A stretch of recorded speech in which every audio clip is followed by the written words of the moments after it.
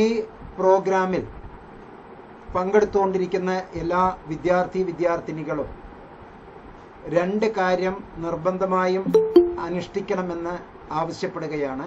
ഈ പ്രോഗ്രാം കഴിയുന്നത് വരെ. ഒന്ന് നിങ്ങളുടെ തൊട്ടടുത്ത് തന്നെ ഒരു പേപ്പറും പേനയും അല്ലെങ്കിൽ ഒരു നോട്ട്ബുക്ക് സ്ഥിരമായിട്ട് ഗൂഗിൾ മീറ്റിനുള്ള ഒരു നോട്ട്ബുക്ക് ഉണ്ടായിരിക്കണം. പേനയും കയ്യിൽ വെക്കുക. ആവശ്യമായിട്ടുള്ള സംഗതികൾ പറ്റുകയാണെങ്കിൽ മൊബൈലിലെ മറ്റൊരു മൊബൈലോ ഏതെങ്കിലും ഉപയോഗിച്ചുകൊണ്ട് നിങ്ങൾക്ക് റെക്കോർഡ് ചെയ്യാവുന്നതാണ്. അതിനുള്ള എല്ലാ സ്വാതന്ത്ര്യവും തരുന്നു. അതുകൊണ്ട് തന്നെ ഇത് അങ്ങോട്ടും ഇങ്ങോട്ടും ട്രാൻസ്പെറന്റ് ആയിട്ടുള്ള ഒരു പരിപാടി ആയതുകൊണ്ട് നിർബന്ധമായും ഒരു ഔദ്യോഗിക മീറ്റിങ്ങിന്റെ ഒരു ക്ലാസിന്റെ എല്ലാ പവിത്രതയും ഈ ഒരു പരിപാടിക്ക് നമ്മൾ നിർബന്ധമായും കൊടുക്കേണ്ടതുണ്ട്. ഇന്നലെയും ഇന്നുമായി ഇന്ദിരാഗാന്ധി നാഷണൽ ഓപ്പൺ യൂണിവേഴ്സിറ്റിയുടെ പ്രവർത്തനങ്ങൾ ആകൃഷ്ടരായി അതിനെ സ്വന്തം ജീവിതത്തിൽ പകർത്തി നല്ല ഒരു കോഴ്സ് ചെയ്തുകൊണ്ടിരിക്കുന്ന അല്ലെങ്കിൽ ചെയ്യാൻ ആഗ്രഹിക്കുന്ന ഒരുപാട് വിദ്യാർത്ഥി വിദ്യാർത്ഥിനികൾക്ക് കൈത്താങ്ങാകുന്ന രൂപത്തിലാണ് സെന്റർ ഫോർ ബിഹേവിയറൽ സയൻസും സീഡ് ട്രസ്റ്റ് കേരളയും എം നോട്ട്സ് ടെലഗ്രാം ചാനലിലൂടെയും എം നോട്ട്സ് യൂട്യൂബ് ചാനലിന്റെയും നേതൃത്വത്തിൽ ഇത്തരത്തിലുള്ള പ്രോഗ്രാം നടത്തുന്നത്. നമ്മളുടെ മാതൃസ്ഥാപനങ്ങൾ ഏതാണ് എന്ന് പഠിതാക്കൾ നിർബന്ധമായും അറിഞ്ഞിരിക്കണം. ഒപ്പം തന്നെ ഒരു സഹോദര സ്ഥാപനവും ഉണ്ട്. സെന്റർ ഫോർ ബിഹേവിയറൽ സയൻസ് എന്ന് പറയുന്നത് പാലക്കാട് ജില്ലയിൽ പ്രവർത്തിക്കുന്ന ഒരു ഒരു സ്വതന്ത്ര ചാരിറ്റബിൾ ഇൻസ്റ്റിറ്റ്യൂട്ടാണ്. മെന്റൽ ഹെൽത്ത് എഡ്യൂക്കേഷണൽ ഇൻസ്റ്റിറ്റ്യൂട്ടാണ് അതുകൊണ്ട് തന്നെയാണ് അതിന് സെന്റർ ഫോർ ബിഹേവിയറൽ സയൻസ് എന്ന പേര് തന്നെ കൊടുത്തിരിക്കുന്നത്. Centre for behavioural science seed trust Kerala socio economically educational charitable ട്രസ്റ്റിന്റെ നേതൃത്വത്തിൽ നടക്കുന്ന ഒരു സ്ഥാപനമാണ്. മറ്റൊരുപാട് സ്ഥാപനങ്ങളുണ്ട്. സ്വയം തൊഴിൽ കണ്ടെത്താനുള്ള സ്ഥാപനങ്ങൾ അടക്കം ഇതിന്റെ അകത്തുണ്ട്. സ്വയം തൊഴിൽ കണ്ടെത്താനുള്ള പുതിയ പുതിയ ഓരോ പദ്ധതികളും അതിനുള്ള ട്രെയിനിങ്ങുകളും ആസൂത്രണം ചെയ്തുകൊണ്ടിരിക്കുകയുമാണ്. അപ്പൊ ഇതൊരു കൂട്ടായ്മയുടെ ഭാഗമാണ്. കൂട്ടായ്മയുടെ ഭാഗത്തിൽ ഒരു സംഗതി നമ്മൾ ഇഗ്നോയെ നമ്മൾ നമ്മുടെ നെഞ്ചോട് ചേർത്ത് നമ്മൾ അതിനെ വേണമെങ്കിൽ പ്രണയിക്കുന്നു എന്ന് തന്നെ പറയാം. എന്റെ ഭാഷയിൽ പറയുകയാണെങ്കിൽ ഇഗ്നോയെ പ്രണയിച്ചുകൊണ്ട് നമ്മൾ ഈ ഒരു പരിപാടികൾ നടത്തുന്നത്. ഈ കേരളത്തിൽ എന്നല്ല ഇന്ത്യയിൽ തന്നെ ജൂലൈ രണ്ടായിരത്തി ഇരുപത്തി മൂന്നിന് വേണ്ടി ഔദ്യോഗികമായി ഇത്തരത്തിലുള്ള ഒരു പരിപാടി ആരും തുടങ്ങിയിട്ടില്ല. ഇന്നലെയും ഇന്നുമായി ഇന്ദിരാഗാന്ധി നാഷണൽ ഓപ്പൺ യൂണിവേഴ്സിറ്റിയിലൂടെ പഠനം തുടരാൻ വേണ്ടി ആഗ്രഹിക്കുന്ന ഒരുപാട് വ്യക്തിത്വങ്ങൾക്ക് ആഗ്രഹിച്ച് അഡ്മിഷൻ എടുത്തവർക്കും ആഗ്രഹിച്ച് അഡ്മിഷൻ എടുക്കാതെ ഇനി അഡ്മിഷൻ എടുക്കാം എന്നുള്ളവർക്ക് ഒരു മോട്ടിവേഷനായും ഇത്തരത്തിലുള്ള ഒരു ഓറിയന്റേഷൻ വെബിനാർ ഇവിടെ നടത്തുന്നു. വെബ് ബേസ്ഡ് സെമിനാർ ആണ് വെബിനാർ അത് നമുക്ക് എല്ലാവർക്കും അറിയാം. അതുകൊണ്ട് തന്നെ ഇന്റർനെറ്റിന്റെ സഹായത്താൽ ഇത്തരത്തിലുള്ള പ്ലാറ്റ്ഫോമുകൾ നമ്മൾ ഉപയോഗിച്ചുകൊണ്ട് നമ്മൾ നടത്തുന്ന പരിപാടി ഒരു പഠന പ്രക്രിയ തന്നെയാണ് എന്ന് മനസ്സിലാക്കുക. ഈ പഠന പ്രക്രിയ അനുസ്യൂതം നമ്മൾ തുടർന്ന് കൊണ്ടുപോകേണ്ടതാണ്. അതുകൊണ്ട് യഥാർത്ഥ പഠന പ്രക്രിയ നമ്മുടെ മുമ്പിൽ വരുന്നതിനോടൊപ്പം നമ്മൾ കുറേ ടൂളുകൾ പരിചയപ്പെടുത്തുക പരിചയപ്പെട്ട് വെക്കുക എന്നുള്ളത് നിർബന്ധമാണ്. അതുകൊണ്ട് തന്നെ ലോഡ് ഏറ്റവും കൂടുതൽ ഈ വീഡിയോയിൽ വരാതിരിക്കാൻ വേണ്ടി നിങ്ങൾ പരിശ്രമിക്കുകയും ഒപ്പം ഇതിന്റെ ഹോസ്റ്റ് ആയി മീറ്റിങ്ങിനെ നയിച്ചുകൊണ്ടിരിക്കുന്ന ഒരു ഹോസ്റ്റ് എന്നുള്ള നിലയ്ക്ക് ഹോസ്റ്റ് നൽകുന്ന നിർദ്ദേശങ്ങൾ അപ്പടി നിങ്ങൾ അതുപോലെ തന്നെ പാലിക്കണമെന്നും വിനീതമായി അഭ്യർത്ഥിക്കുകയാണ്. ഇതെല്ലാം വെറും അഭ്യർത്ഥനകളാണ്. നിർബന്ധമായും ഈ അഭ്യർത്ഥനകൾ നമ്മൾ മാനിക്കുന്നു. ഔപചാരികത ഒന്നും ഇന്ന് നമ്മൾ നൽകുന്നില്ല. നമ്മൾ നേരെ വിഷയത്തിലേക്ക് പോവുകയാണ്. ഇന്നലെ രണ്ട് മണിക്കൂറോളം ഒരു ഒരു മണിക്കൂർ നാൽപ്പത്തി ഒമ്പത് മിനിറ്റ് നമ്മൾ സംസാ അമ്പത്തി മൂന്ന് മിനിറ്റ് നമ്മൾ ഡിസ്കസ് ചെയ്തിട്ടുണ്ടെങ്കിലും ആകെ ആറ് പേരുടെ സംശയങ്ങൾ മാത്രമേ നമുക്ക് ദൂരീകരിക്കാൻ കഴിഞ്ഞിട്ടുള്ളൂ. ഇന്ന് ഏകദേശം തൊണ്ണൂറിൽ കൂടുതൽ നൂറ് പേരാണ് ഇതിന്റെ പരമാവധി ലിമിറ്റ് എന്നുള്ളത് നമുക്ക് അറിയാം. പ്രോ പ്രോഗ്രാം അല്ല. പ്രോ ചാനലല്ല ഇതൊരു ഫ്രീ ചാനലായിട്ടാണ് നമ്മൾ ഇതിനെ ഇപ്പോൾ ചെയ്തുകൊണ്ടിരിക്കുന്നത്. അതുകൊണ്ട് തന്നെ തൊണ്ണൂറിനും തൊണ്ണൂറ്റി ഒമ്പതിനും ഇടയിൽ ആളുകൾ ഇന്ന് വരാനുള്ള സാധ്യത വളരെ കൂടുതലാണ്. അതുകൊണ്ട് തന്നെ ലോഡ് കൂടുതൽ വരാതിരിക്കാൻ നമ്മൾ എല്ലാവരും ഞാൻ പറയുന്നത് വരെ നിങ്ങൾ അൺമ്യൂ അൺമ്യൂട്ടിലും സോറി മ്യൂട്ടിലും അതുപോലെ വീഡിയോയും ഓഫ് ചെയ്ത് ഇരിക്കുക. ഇതിന്റെ ഏറ്റവും അവസാനത്തെ സന്ദർഭത്തിൽ നമുക്കൊരു പിക്ചറൈസേഷൻ എന്നുള്ള ഭാഗമായി റെക്കോർഡ് എന്നുള്ള നിലയ്ക്ക് നമ്മൾ അതിനെ എല്ലാവരും ഒന്ന് മുഖം തരേണ്ടതുണ്ട് ഒന്ന് പിക്ചർ തരേണ്ടതുണ്ട്. ഇപ്പോൾ തന്നെ എക്കോ വരുന്നു. അപ്പോൾ mister Rahul A video off ചെയ്യണമെന്ന് അഭ്യർത്ഥിക്കുകയാണ്. സ്വാഭാവികമായും നമുക്ക് ഇത്തരത്തിലുള്ള കൈത്താങ്ങുകൾ നൽകുന്നത് വളരെ വളരെ വളരെ വലിയ ഉത്തരവാദിത്തത്തിന്റെ പേരിലാണ്. അവ എന്തൊക്കെയാണ് എന്നുള്ളത് വൺ ബൈ വൺ ആയി ഞാൻ താങ്കളെ എല്ലാവരെയും അറിയിക്കാം. ഈ യോഗം ഔപചാരികമായി ഉദ്ഘാടനം ചെയ്യപ്പെട്ടതായി പ്രഖ്യാപിക്കുകയാണ്. ഇന്നത്തെ യോഗത്തിൽ നമുക്ക് കൂടുതൽ ഇൻഫർമേഷൻസ് ചർച്ച ചെയ് ചെയ്യാനുള്ളത് കൊണ്ട് ഈ ഇന്നലത്തെ പ്രോഗ്രാമിൽ പങ്കാളികളായിട്ടുള്ള ഒരു മൂന്ന് പേർക്ക് ഞാൻ ചുമതലകൾ ഏൽപ്പിക്കുകയാണ്. നമ്മുടെ പ്രിയപ്പെട്ട പ്രദീപ് കുമാർ സാർ ഇതിൽ ഇതിന്റെ അകത്തുണ്ട്. അദ്ദേഹത്തിന് ഞാൻ ഒരു ചുമതല കൊടുക്കുന്നത് പ്രദീപ് കുമാർ സാറിന് ഒരു ടൈം കീപ്പറായിട്ട് ഇതിൽ ഉണ്ടായിരിക്കണം. ഒരാൾക്ക് പരമാവധി ഒരു മിനിറ്റ് അവരുടെ ചോദ്യം അര മിനിറ്റിൽ അവസാനിപ്പിക്കും പിന്നെ ഞാൻ മൈക്ക് കൈപ്പറ്റും ഞാൻ അതിനെപ്പറ്റി വിശദീകരണം കൊടുത്തുകൊണ്ടിരിക്കും. ഫ്രീക്വൻലി ആസ്ക്ഡ് ക്വസ്റ്റ്യൻസ് ആണ് നമ്മൾ നടത്തിക്കൊണ്ടിരിക്കുന്നത്. അതുകൊണ്ട് തന്നെ ഓരോ ചോദ്യവും എല്ലാവർക്കും പുതുമയുള്ളതായിരിക്കും. അതുപോലെ തന്നെ ഇന്നലത്തെ പ്രോഗ്രാം ഒന്ന് വിശദീകരിച്ചു കൊടുക്കാൻ. ഇന്നലെ ഇവിടെ എന്തൊക്കെയാണ് നടന്നത് എന്തൊക്കെയാണ് നമ്മൾ ചർച്ച ചെയ്തത് എന്ന് ഒരു ആമുഖമായിട്ട് ഒരു ഒരു രണ്ട് മിനിറ്റ് സമയമെടുത്ത് സംസാരിക്കാൻ വേണ്ടി മിസ് സുമ ടീച്ചറെ ഞാൻ ആദരപൂർവം ക്ഷണിക്കുകയാണ്. സുമ ടീച്ചർ ഇന്നലെ നടന്ന സംഭവങ്ങൾ എന്തൊക്കെയാണ് എന്ന് ഒന്ന് വിലയിരുത്തണം. അവരുടെ പ്രോഗ്രാം ഇവിടെ നടക്കുന്നതിന്റെ ഇടയിൽ തന്നെ ഇതിൽ പങ്കെടുക്കുന്ന എല്ലാവരും റിപ്പോർട്ടിൽ നിങ്ങൾ നിർബന്ധമായും നിങ്ങളുടെ പേര് നിങ്ങൾ ചെയ്തുകൊണ്ടിരിക്കുന്ന കോഴ്സ് അല്ലെങ്കിൽ ചെയ്യാൻ ഉദ്ദേശിക്കുന്ന കോഴ്സ് ഏതാണ് എന്നൊന്ന് ടൈപ്പ് ചെയ്യണം. ഒപ്പം തന്നെ ഇന്നലെ പങ്കെടുത്തവരും ഇന്നലെ പങ്കെടുത്ത് ഇന്നും പങ്കെടുക്കുന്നവരാണെങ്കിൽ അവർ രണ്ട് എന്ന താഴെ അതായത് പേര് അവരുടെ പ്രോഗ്രാം കോഡ് കോഡ് അറിയുന്നില്ലെങ്കിൽ ഏതാണ് കോഴ്സ് എന്നുള്ള കോഴ്സ് കൊടുക്കുക. ഇന്നലെയും ഇന്നുമായി പങ്കെടുക്കുന്നവർ രണ്ട് എന്നും ഇന്ന് ആദ്യമായി പങ്കെടുക്കുന്നവർ ഒന്ന് എന്നും ടൈപ്പ് ചെയ്യണം. ഞാൻ എന്റെ വാക്കുകൾ ഉപസംഹരിക്കുന്നു. മിസ് സുമ ടീച്ചറിനെ ആദരപൂർവം ക്ഷണിക്കുന്നു. ഇന്നലെ നമ്മൾ എന്തൊക്കെ ചെയ്തു ഇന്നലെ എന്തൊക്കെയായിരുന്നു നമ്മളുടെ വർത്തമാനം എന്നുള്ളത് ഒന്ന് ഒരു ഫീഡ്ബാക്ക് കിട്ടാൻ വേണ്ടിയിട്ടാണ് ഞാൻ ഇത് ചോദിക്കുന്നത്. ഞാൻ മിസ് സുമ ടീച്ചറെ ആദരപൂർവം ക്ഷണിക്കുകയാണ്.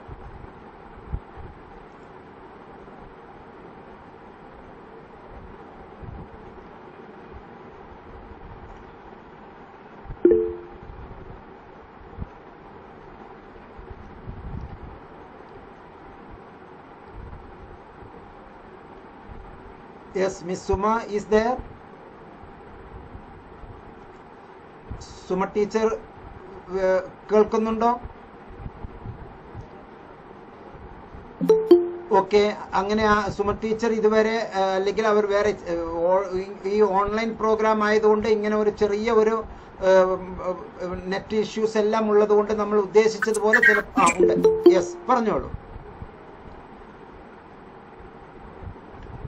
അല്ലെങ്കിൽ മറ്റാരെങ്കിലും ഒരാൾ ഇന്നലെ എന്ത് നമ്മൾ ഇന്നലെ എന്തൊക്കെ ചെയ്തു എന്നുള്ളത് ഒരാൾ വിശദീകരിക്കണമെന്ന് വിനീതമായി അഭ്യർത്ഥിക്കുകയാണ്.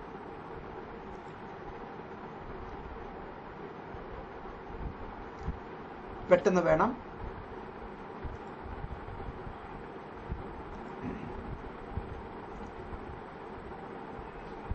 യെസ്. ഇന്നലെ പങ്കെടുത്തവർ രണ്ട് എന്ന് ടൈപ്പ് ചെയ്തവരുണ്ട്. അവരെ ഇന്നലെ പങ്കെടുത്തവർ ഒന്ന് ഒന്ന് കാര്യങ്ങളൊന്ന് അവതരിപ്പിക്കുക. ഇന്നലെ എന്തൊക്കെയാണ് നമ്മൾ ഡിസ്കസ് ചെയ്തത് എന്നുള്ളത് ഒന്ന് അവതരിപ്പിക്കണം.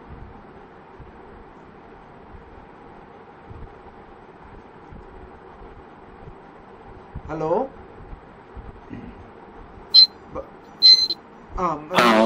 ആ രാജു പറഞ്ഞോളൂ. ആ രാജു. ആ മാഷെ താങ്ക് യു മാഷെ. ആ, ഇതിൽ നമ്മുടെ ഇതിൽ പങ്കെടുക്കുന്ന എല്ലാവർക്കും നന്ദി രേഖപ്പെടുത്തുകയാണ്.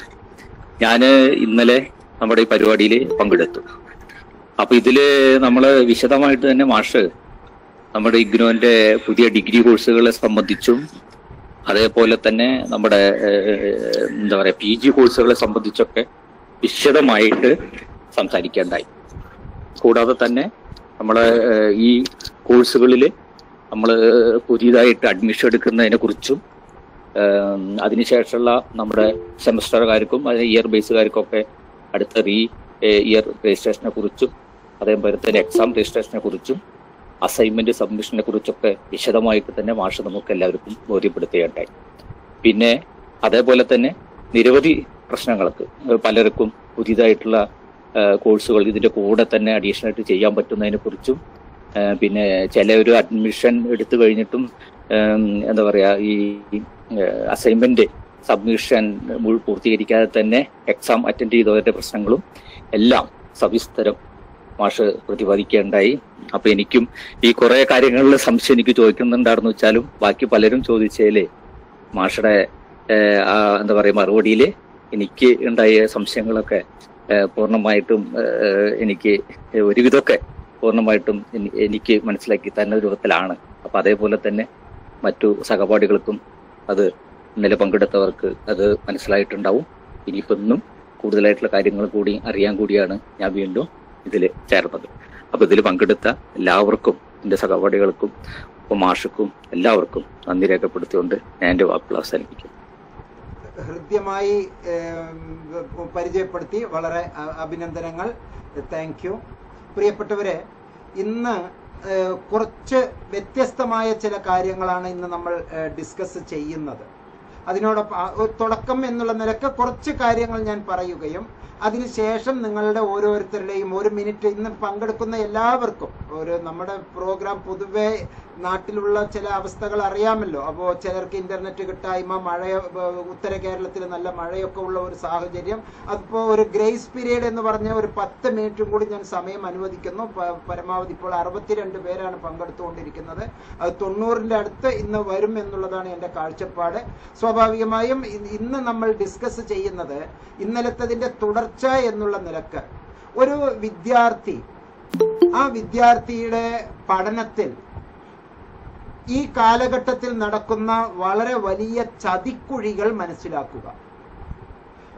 ഞാൻ ക്രെഡിറ്റ് ട്രാൻസ്ഫർ എന്നുള്ള ആശയത്തിലാണ് ഇന്നലെ നമ്മൾ നിർത്തി പിന്നെ തുടർന്ന് ഞാൻ അങ്ങോട്ട് പോയത്. നിങ്ങളുടെ ഇടയിൽ ഒരുപാട് പേര് അങ്ങനെ ഉണ്ട്. ഇന്ന് ഈ മീറ്റിംഗ് വയ്ക്കുന്നതിന് അരമണിക്കൂർ മുമ്പ് വിദേശത്ത് നിന്ന് ഒരു അമ്മ കരഞ്ഞിട്ടാണ് ഒരു കാര്യം എന്നോട് പറഞ്ഞത്. അവരുടെ കുടുംബത്തിലെ മറ്റെല്ലാവരും അന്ന് ഇന്ന് അവരെ ഈ പ്രോഗ്രാമിൽ ഞാൻ ക്ഷണിച്ചിട്ടുണ്ട്. അവരും വിദേശത്ത് അവരുടെ അവരുടെ മക്കളും വാർഡ്സ് അവരും ഇതിൽ പങ്കെടുക്കുന്നുണ്ട്. അവരുടെയും കൂടി അനുവാദത്തോടു കൂടിയാണ് ഞാൻ ചില കാര്യങ്ങൾ പറയുന്നത്. ഒരു കാരണവശാലും ആരുടെയും പേരുകളൊന്നും വെളിവാക്കുന്നതല്ല. ഞാൻ ഒരു കൗൺസിലിംഗ് സൈക്കോളജിസ്റ്റ് ആയതുകൊണ്ട് തന്നെ പലതരത്തിലുള്ള കേസ് സ്റ്റഡി കേസസ് നിങ്ങളുടെ മുമ്പിൽ വയ്ക്കുന്നത് അത് ജീവിക്കുന്ന കുറച്ച് ഉദാഹരണങ്ങൾക്ക് വേണ്ടിയാണ്. കുടുംബത്തിലെ ജ്യേഷ്ഠൻ അനിയൻ മറ്റുള്ളവരെല്ലാവരും വെൽ സെറ്റിൽഡ് ഇവർ വിദേശത്താണ്. നല്ല സെറ്റിൽഡ് തുടക്കത്തിലേ അവിടെ പോയി. ബാക്കിയുള്ള മക്കളെ എല്ലാം അവർക്ക് എന്തുകൊണ്ടോ നാട്ടിൽ എഞ്ചിനീയറിങ്ങിനും മെഡിസിനും ഒക്കെ പഠിപ്പിക്കാൻ കഴിഞ്ഞു. ഒരു പ്രത്യേക സാഹചര്യത്തിൽ ചെറിയ മകനെ അവർക്ക് മുകളിൽ ഐ മീൻ വിദേശത്താണ് പഠിപ്പിക്കാൻ കഴിഞ്ഞത്.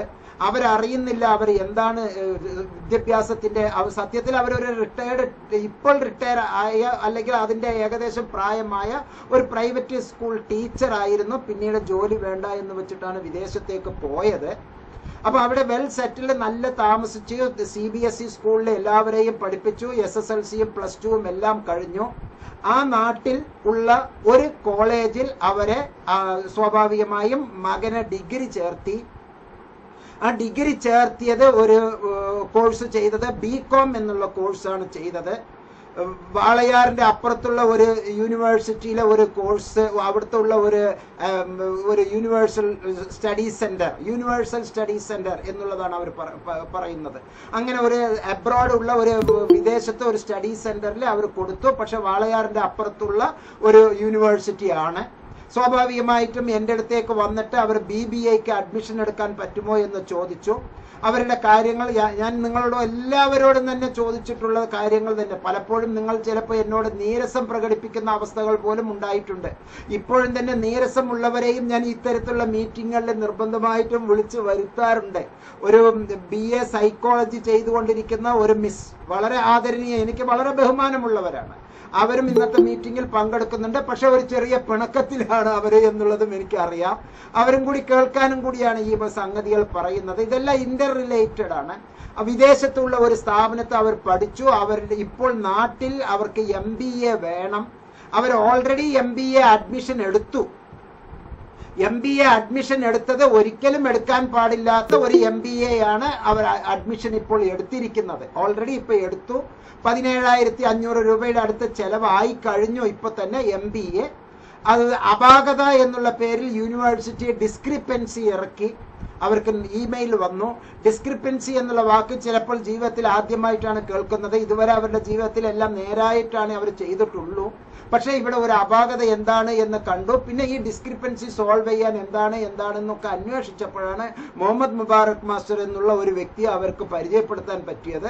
അവർ സ്വാഭാവികമായിട്ടും മെമ്പർഷിപ്പ് ഇഗ്നോയിലെ നമ്മുടെ സോഷ്യൽ ആക്ടിവിറ്റീസ് ഇത് നടത്താൻ വേണ്ടിയിട്ട് സാധാരണ മെമ്പർഷിപ്പ് ചിലത് വാങ്ങിക്കാറുണ്ട്. ഇങ്ങനെ വിദേശത്തുള്ളവരും അത്യാവശ്യം തിരക്കേടില്ലാത്തവരിൽ നിന്ന് ചെറിയ തരത്തിലുള്ള ഒരു മെമ്പർഷിപ്പ് ഫീ വാങ്ങിക്കാറുണ്ട്. അവർ മെമ്പർഷിപ്പ് ഫീയും അടച്ചിട്ട് അവർ കാര്യങ്ങൾ ചോദിച്ച് അവർക്കുമായിട്ടുള്ള കൗൺസിലിംഗ് കൊടുത്തുകൊണ്ടിരിക്കുമ്പോൾ അത് കൃത്യമായി തിരിച്ചറിഞ്ഞു. അവർ എടുത്തത് വിദേശത്തേക്കുള്ള ഒരു ബി കോം ആണ്. ആ ബി കോമിന് അംഗീകാരമില്ല എന്നുള്ള വസ്തുത ഞാൻ പറഞ്ഞു.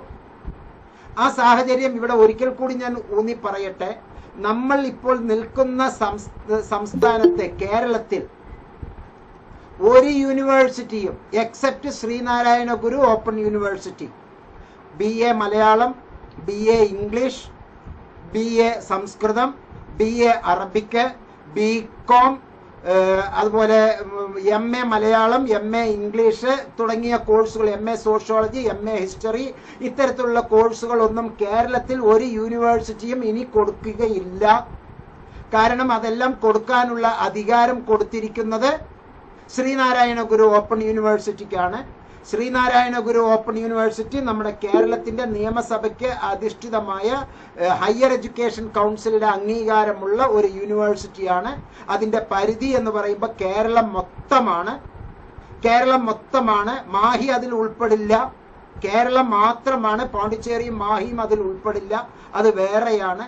സ്വാഭാവികമായി ഈ ജൂറിസ്ഡിക്ഷന്റെ അകത്തുള്ളവർ വേണമെങ്കിൽ തലശ്ശേരിയിൽ പോയി പഠിച്ചാൽ പിന്നീട് അവർക്ക് ചില പ്രയാസങ്ങൾ ഉണ്ടാകേണ്ടി വരും. തലശ്ശേരി ബ്രണ്ണൻ റീജിയണൽ സെന്റർ ആണ് ശ്രീനാരായണ ഗുരു ഓപ്പൺ യൂണിവേഴ്സിറ്റി. ചുരുക്കത്തിൽ കേരളത്തിൽ തന്നെ ഉള്ള Kannur university Kerala university Mahatma Gandhi university Calicut university തുടങ്ങിയ നമ്മുടെ പ്രിയപ്പെട്ട യൂണിവേഴ്സിറ്റികൾക്ക് പോലും ചില കോഴ്സുകൾ ശ്രീനാരായണ ഗുരു ഓപ്പൺ യൂണിവേഴ്സിറ്റി നടത്താത്ത കോഴ്സുകൾ അവർക്ക് പ്രൈവറ്റ് രജിസ്ട്രേഷൻ ചെയ്യാം.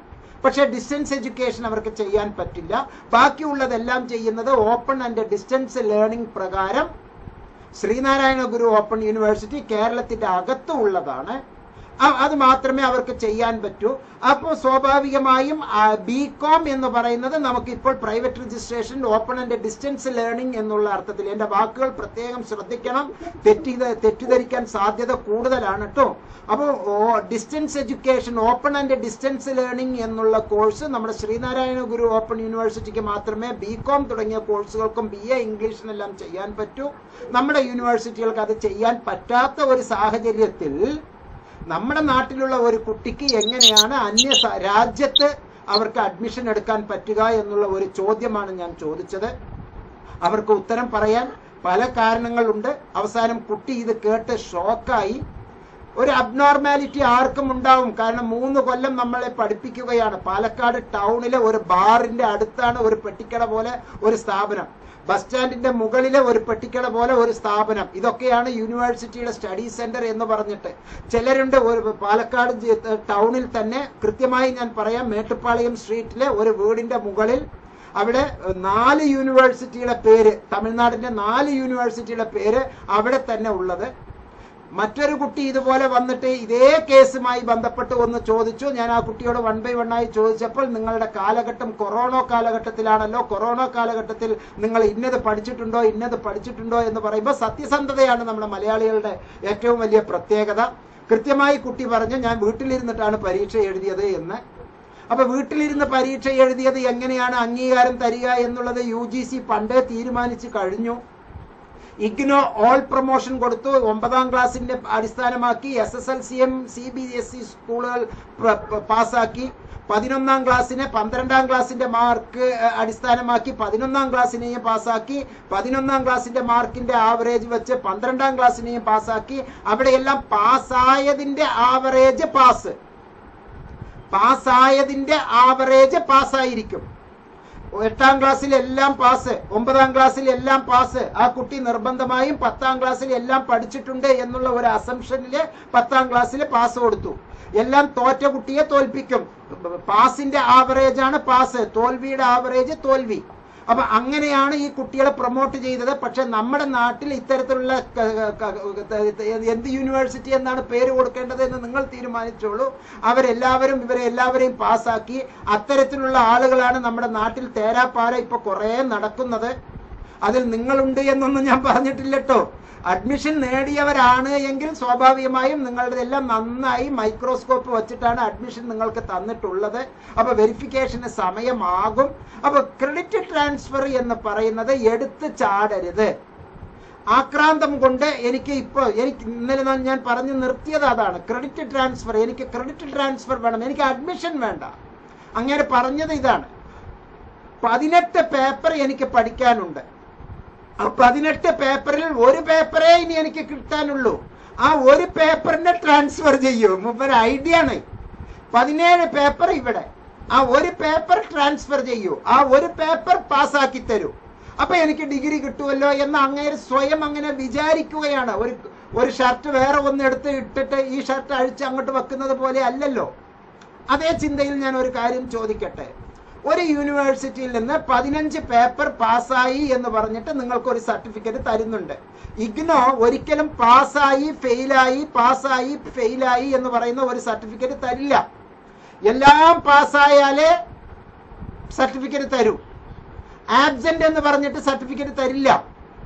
അപ്പൊ എല്ലാം കംപ്ലീറ്റഡ് ആ വാക്ക് എഴുതി വെച്ചോളൂ.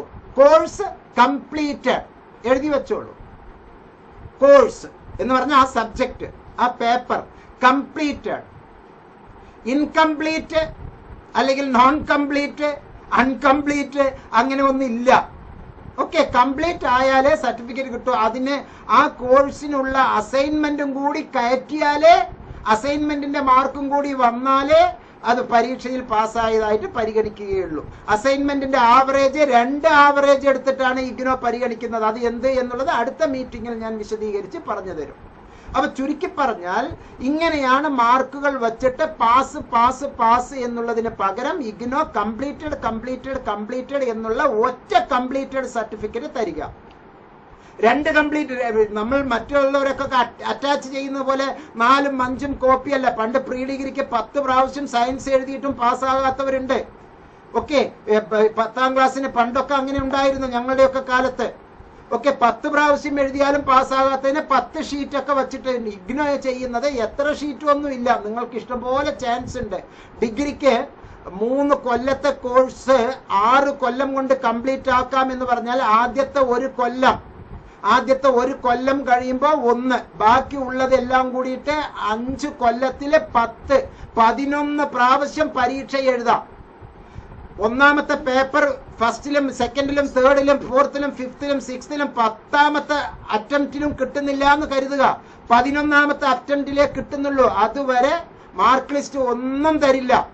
എല്ലാം കഴിഞ്ഞതിന് ശേഷം ഒറ്റ സർട്ടിഫിക്കറ്റ് തരും. അതാണ് മാർക്ക് ലിസ്റ്റ്. അതിലെല്ലാം കംപ്ലീറ്റഡ് എന്നുള്ള മാർക്കുകൾ ഉണ്ടാവും. പാസ് എന്നും ഫെയിൽ എന്നും സർട്ടിഫിക്കറ്റിൽ കാണില്ല. മാർക്കുകൾ ആയിരിക്കും അതിൽ ഉണ്ടാവുക എന്നിട്ട് താഴെ ഇന്ന ഗ്രേഡ് എന്ന് പറയും. ഇത്ര ശതമാനം എന്നുള്ളത് പറയും. സക്സസ്ഫുള്ളി പാസ്ഡ് ഞാൻ എഴുപത്തി രണ്ട് പോയിന്റ് മൂന്ന് ശതമാനം മാർക്കോട് കൂടിയിട്ട് with first class dot distinction ഞാനും അതിൽ അക്കാര്യത്തിൽ ഖിന്നനാണ് ദുഃഖിതനാണ്. എനിക്ക് ഡിസ്റ്റിങ്ഷൻ കിട്ടിയില്ല. എഴുപത്തഞ്ച് ശതമാനം കിട്ടിയില്ല. എഴുപത്തിരണ്ട് പോയിന്റ് മൂന്ന് ശതമാനത്തോട് കൂടിയിട്ട് ഞാനും പാസ്സായി ഞാൻ ഇതിന്റെ അകത്തിരിക്കുന്നു.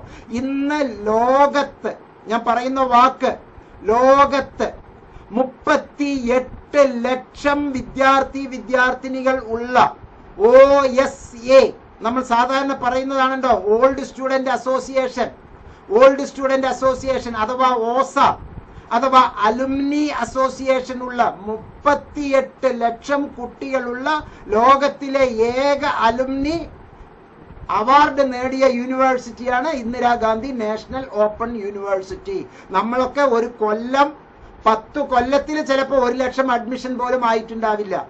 ഇത് മുപ്പത്തിയെട്ട് ലക്ഷം കുട്ടികൾ ഇപ്പോൾ അലുമിനി ആയിട്ടുള്ള ഒരു വലിയ യൂണിവേഴ്സിറ്റിയുടെ കീഴിലാണ് നമ്മൾ നിൽക്കുന്നത്. അതുകൊണ്ട് തന്നെ ജൂറിസ്ഡിക്ഷൻ വളരെ നല്ല വലുതാണ്. ആ ജൂറിസ്ട്രിക്ഷന് വിധേയമായിട്ടാണ് പഠിക്കുന്നത്. അപ്പോൾ പഠിച്ച ഈ പത്ത് പേപ്പറും പാസ്സായി. ഒരു യൂണിവേഴ്സിറ്റിയിൽ പത്തെണ്ണം കിട്ടി എട്ടെണ്ണം ഫെയിൽ എന്ന് പറഞ്ഞിട്ട് ഒരു സർട്ടിഫിക്കറ്റ് ഉണ്ട് എന്ന് കരുതുക. നിങ്ങൾ വിചാരിക്കുന്നത് പോലെ ഇഗ്നോ തരില്ല. അത് ഞാൻ പറഞ്ഞു. വേറെ ഒരു സി എന്ന് പറയുന്ന കാലിക്കറ്റ് യൂണിവേഴ്സിറ്റി അല്ലട്ടോ പേരൊക്കെ ഇപ്പൊ ടി വിയിലൊക്കെ ഒരുപാട് വന്ന സി എന്ന് പറയുന്ന യൂണിവേഴ്സിറ്റി ആർ എന്ന് പറയുന്ന യൂണിവേഴ്സിറ്റി ഓക്കെ ആർ എന്ന് പറയുന്ന ഒരു യൂണിവേഴ്സിറ്റി ഷാഷു ഷു യൂണിവേഴ്സിറ്റി ഉണ്ട്. അങ്ങനെ കുറച്ച് യൂണിവേഴ്സിറ്റികൾ അങ്ങനെയുള്ള കുറെ യൂണിവേഴ്സിറ്റികൾ നിങ്ങളെ ഈ ക്രെഡിറ്റ് ട്രാൻസ്ഫർ ഇന്നലെ വേറെ ഒരു വാർത്ത യൂട്യൂബിൽ കണ്ടു. ബി ടെക്കിനെല്ലാം ക്രെഡിറ്റ് ട്രാൻസ്ഫർ അങ്ങനെ ഒന്നുമില്ല. എം എസ് സി കെമിസ്ട്രിക്കൊന്നും ക്രെഡിറ്റ് ട്രാൻസ്ഫർ ഒന്നും ഇല്ല. ബി ടെക്കിനൊന്നും ക്രെഡിറ്റ് ട്രാൻസ്ഫർ ഇല്ല. അങ്ങനെയൊക്കെ ഉള്ളവരെ അവസാനം ആർ സി സിയിലെ ഏതെങ്കിലും വരാന്തയിൽ പോയി കിടക്കേണ്ടി വരും.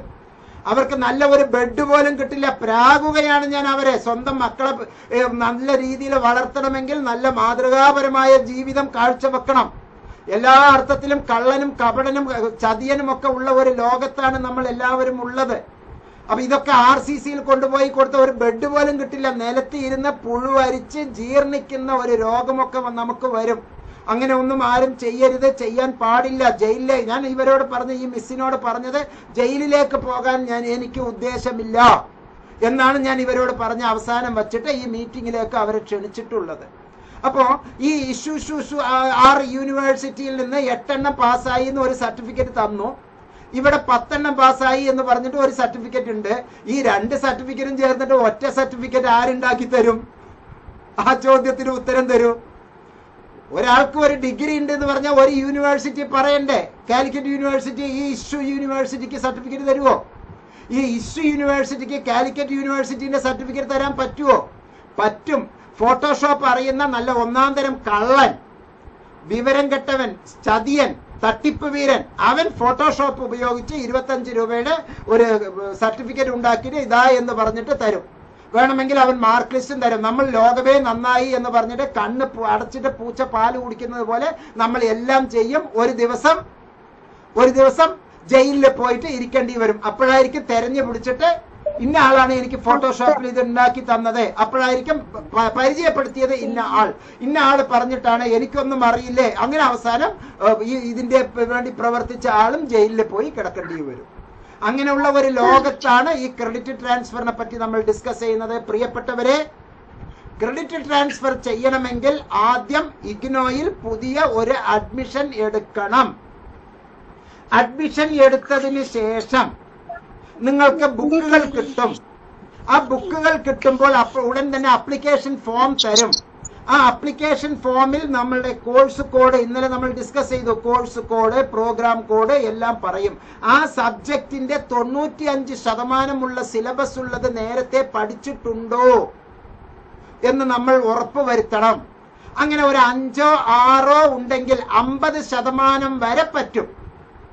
അമ്പത് ശതമാനം വരെ ഒരുപോലെ ഉണ്ട് എങ്കിൽ നേരത്തെ പഠിച്ച യൂണിവേഴ്സിറ്റിയിലെ രജിസ്ട്രാറിൽ നിന്ന് ഈ യൂണിവേഴ്സിറ്റിക്ക് കത്ത് കൊണ്ടുവരണം ഇതും ഇന്നത് പേപ്പർ ഒന്നാണ്. ഈ പേപ്പറും ഈ പേപ്പറും ഒന്നാണ് എന്ന് പറഞ്ഞ് രജിസ്ട്രാറിൽ നിന്ന് കത്ത് കൊണ്ടുവരണം ആ കത്ത് വീണ്ടും യൂണിവേഴ്സിറ്റി പരിശോധനയ്ക്ക് വിധേയമാക്കി അത് തൊണ്ണൂറ്റിയഞ്ച് ശതമാനം ഒരുപോലെ ആണ് എങ്കിൽ നിങ്ങൾക്ക് ക്രെഡിറ്റ് ട്രാൻസ്ഫർ അനുവദിക്കുകയും ബാക്കി അമ്പത് ശതമാനം പേപ്പർ ഇഗ്നോയിൽ പഠിക്കുകയും വേണം. അപ്പോൾ അക്കാര്യത്തിൽ ഒരു കാര്യം ഉറപ്പിച്ചു. മിനിമം അമ്പത് ശതമാനം.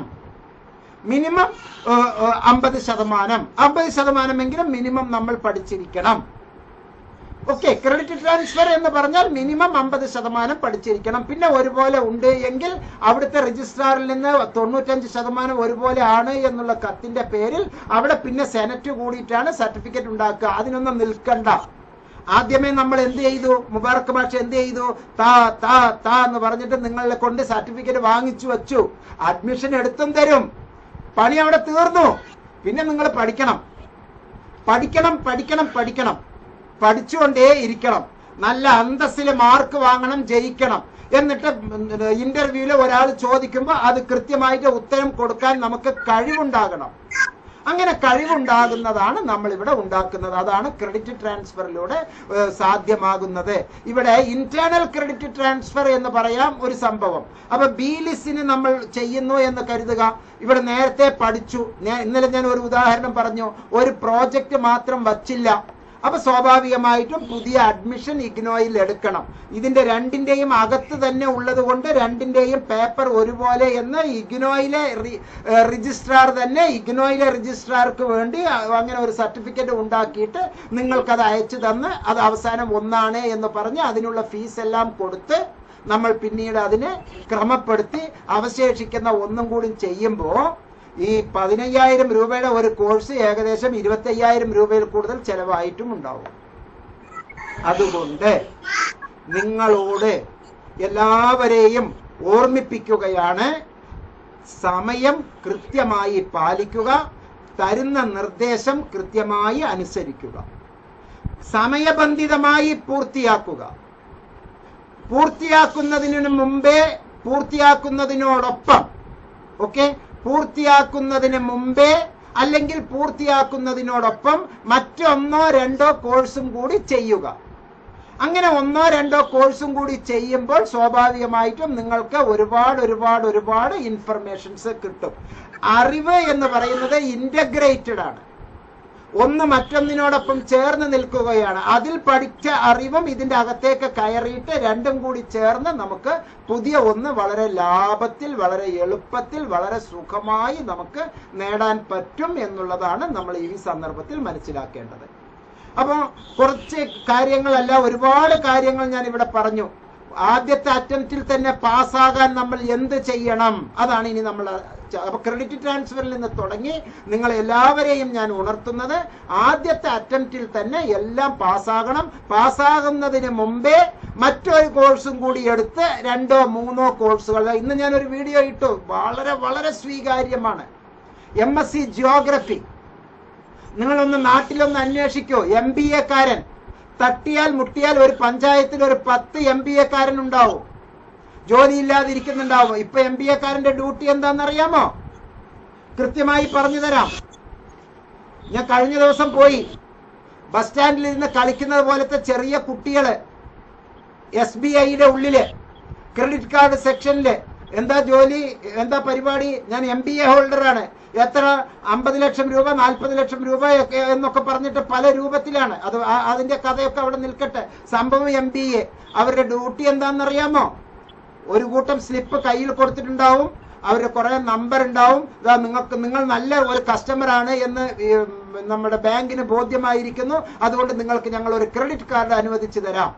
പതിനായിരം രൂപ ഡെപ്പോസിറ്റ് ചെയ്താൽ പതിനായിരം രൂപയുടെ ഒരു ക്രെഡിറ്റ് കാർഡ് ആ പതിനായിരം രൂപയുടെ ക്രെഡിറ്റ് കാർഡിൽ വേണ്ടിയിട്ട് അഞ്ച് രൂപ പത്ത് രൂപ രണ്ട് രൂപ.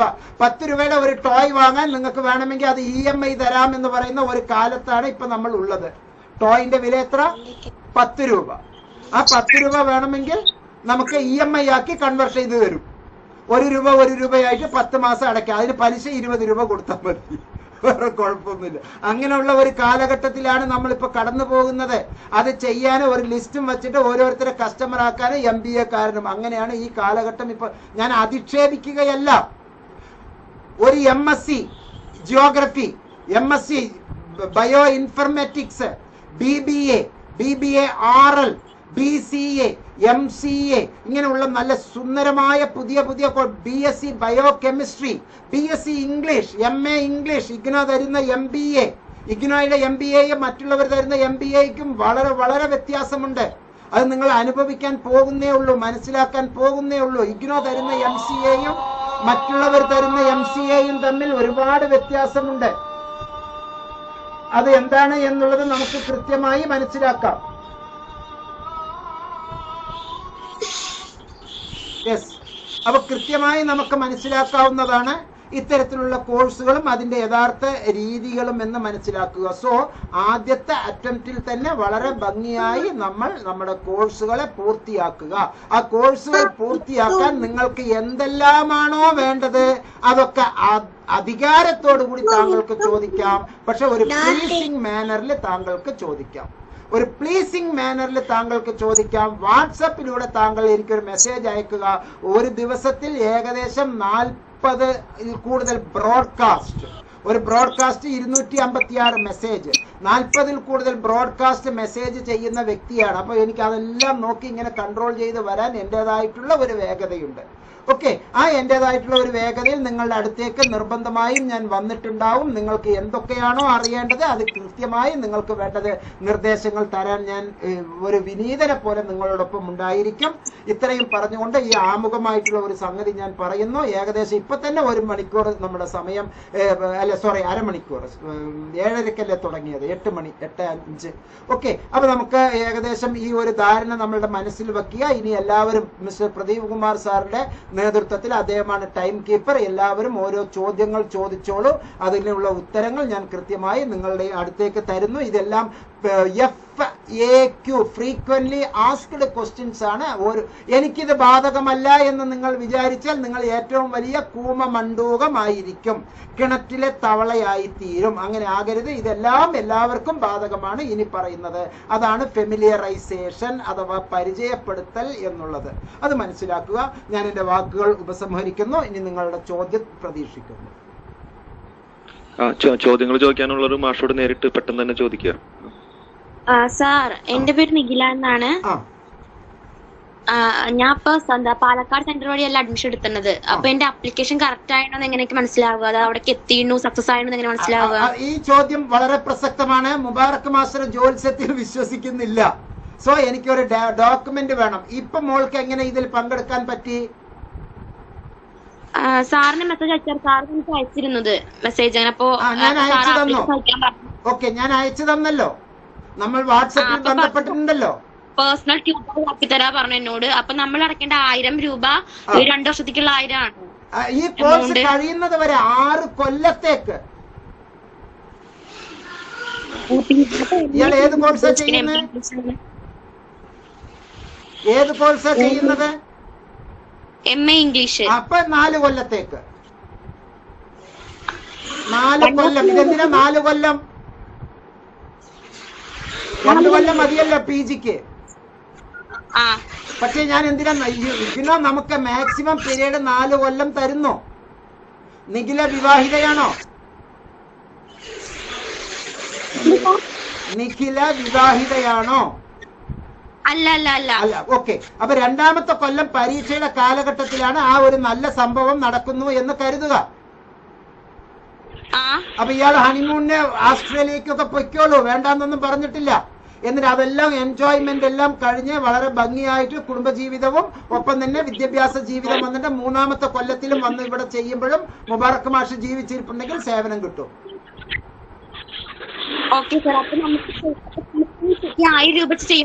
കാശിന്റെ കാര്യം പറയണ്ട. ബാക്കി വർത്താനം പറയൂ. കാശിന്റെ കാര്യം പറയണ്ട. ബാക്കി വർത്തമാനം പറയൂ. ഇയാളെ ഞാൻ റെഗുലറൈസ് ചെയ്ത് തന്നാൽ പോരെ? ആ അതെ അതെ. ഞാൻ റെഗുലറൈസ് ചെയ്ത് തരാമെന്ന് അന്നേ പറഞ്ഞില്ലേ? എന്തെന്ത്? റെഗുലറൈസ് ചെയ്ത് തരാമെന്ന് അന്നേ പറഞ്ഞില്ലേ? ആ പറഞ്ഞു പറഞ്ഞു. അത് മതിയല്ലോ. പിന്നെന്താണ്? പിന്നെ വീണ്ടും വീണ്ടും ചോദിച്ചത് തന്നെ ചോദിച്ചുകൊണ്ടിരിക്കുന്നത്. അപ്പൊ ഞാൻ റെഗുലറൈസ് ചെയ്ത് തരാം. ആ അതെ അതെ. പിന്നെ നമുക്ക് ബുക്കൊക്കെ ലഭിക്കുക ബുക്കൊക്കെ കിട്ടും. കൃത്യമായിട്ട്. അത് നേരത്തെ പറഞ്ഞിട്ടുണ്ട്. യൂണിവേഴ്സിറ്റി ബുക്കുകൾ കഴിഞ്ഞ ജനുവരി സെഷന്റെ ബുക്കുകളാണ് ഇപ്പോൾ കൊടുത്തുകൊണ്ടിരിക്കുന്നത്. നാല് മാസം സമയം പിടിക്കും. ആ നാല് മാസം സമയം പിടിക്കുന്നതിന് മുമ്പേ തന്നെ നമുക്ക് ബുക്കുകൾ വേണം എന്നുണ്ടെങ്കിൽ ഒരു ഉദാഹരണം പറഞ്ഞു തരാം. മോൾ എസ് എസ് എൽ സി എവിടെ പഠിച്ചു? പേര്? പൊറ്റശ്ശേരി ഗവൺമെന്റ് ഹയർ സെക്കൻഡറി സ്കൂളിലെ എസ് എസ് എൽ സി പഠിച്ചു. കാക്കൊല്ല പരീക്ഷയ്ക്ക് വേണ്ടിയിട്ടുള്ള ആദ്യത്തെ ബുക്ക് കിട്ടിയത്? അതെ. പിന്നെ അരക്കൊല്ല പരീക്ഷയോടനുബന്ധിച്ചല്ലേ ബുക്ക് കിട്ടിയത്? പിന്നെ കൊല്ല പരീക്ഷയോടൊപ്പമല്ലേ ബുക്ക് കിട്ടിയത്? അതിനൊന്നും കാശ് കൊടുത്തില്ലല്ലോ സ്കൂളിൽ കിട്ടിയ ബുക്കിന് ഇല്ല. അതേപോലെ ലേബർ ഇന്ത്യ നമുക്ക് വേണമെങ്കിൽ രണ്ടു മാസം മുമ്പേ കിട്ടുമല്ലോ കിട്ടും. അതിന് കാശ് കൊടുക്കണോ വേണ്ടേ? കാശ് കൊടുക്കുന്നത് ഇയാൾ സ്കൂളിൽ ചേർത്തിയപ്പോ ലേബർ ഇന്ത്യയുടെ ബുക്കിന് അവർ സ്കൂളുകാര് ഫീസ് വാങ്ങിച്ചിട്ടുണ്ടോ? ഇല്ല ഇല്ല. അതേപോലെ ഇവിടെയും ബുക്ക് കിട്ടും. മുബാറക് മാഷ് ബുക്ക് തരാം. അതിന് പേയ്മെന്റ് അടക്കേണ്ടി വരും. റെഫറൻസ് ബുക്ക് എന്നാണ് നമ്മൾ അതിനെ ഓമന പേരിട്ട് വിളിക്കുന്നത്. ഗൈഡ് എന്ന് നമ്മൾ പറയുന്നില്ല. കാരണം ഇഗ്നോ എല്ലാ പുതിയ ടേം ആണ് യൂസ് ചെയ്യുന്നത്. ആ ഓക്കെ അപ്പൊ ക്ലാസ് ഇപ്പൊ ഞാൻ പുതിയ വേഗം തുടങ്ങും. എങ്ങനെയായിരിക്കും ക്ലാസ് അതൊക്കെ നമുക്ക് പതുക്കെ ചെയ്യാം. അതൊക്കെ നമുക്ക് ജനറലൈസ് ചെയ്യണ്ട. നമുക്ക് ഇൻഡിവിജ്വൽ ആയിട്ട് ചെയ്യാം കേട്ടോ. ഓക്കെ സാർ അപ്പൊ trust with Mubarak master okay okay all the best അടുത്ത ഒരാൾ ഹലോ. ആ പറഞ്ഞോളൂ പറഞ്ഞോളൂ അരുൺ രാജ്. ഹലോ. ആ പറഞ്ഞോളൂ. ആരാരാ ആരാ? പറയുന്നത്? അരുൺ രാജാണോ? അതോ രാഹുലോ? ആ പറഞ്ഞോളൂ അരുൺ രാജ്.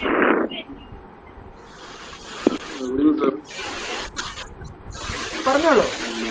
ജൂലൈ രണ്ടായിരത്തി ഇരുപത് ജൂലൈ കുറച്ചും കൂടി ഒന്ന് സൗണ്ടിൽ പറയാമോ?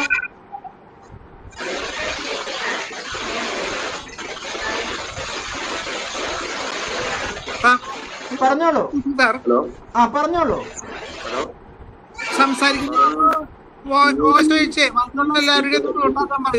ആ ബാക്കിയുള്ളവരെല്ലാവരും അൺമ്യൂട്ട് ആക്കി വെക്കൂ. അല്ല സോറി മ്യൂട്ട് ആക്കി വെക്കൂ. മ്യൂട്ട് ആക്കി വെക്കൂ. രാഹുൽ പ്ലീസ് മ്യൂട്ട് എന്ന് പറഞ്ഞിട്ട് ഒരു മെസ്സേജ് വന്നുകൊണ്ടിരിക്കുന്നു. ആ ഓക്കെ പറഞ്ഞോളൂ അരുൺ. സാറേ ഞാൻ ജൂലൈ രണ്ടായിരത്തി ഇരുപത് സൈക്കോളജി അഡ്മിഷൻ എടുത്തു. ജൂലൈ രണ്ടായിരത്തി ഇരുപത് അതെ അതെ അപ്പോ എനിക്ക് സ്റ്റഡി സെന്ററിൽ ജോലി ചേഞ്ച് ചെയ്ത് തന്നില്ല. മൂന്ന് വർഷം കഴിഞ്ഞു ഏ, ചെയ്തിട്ട്. സ്റ്റഡി സെന്റർ ചേഞ്ച് ആയിട്ടില്ലേ?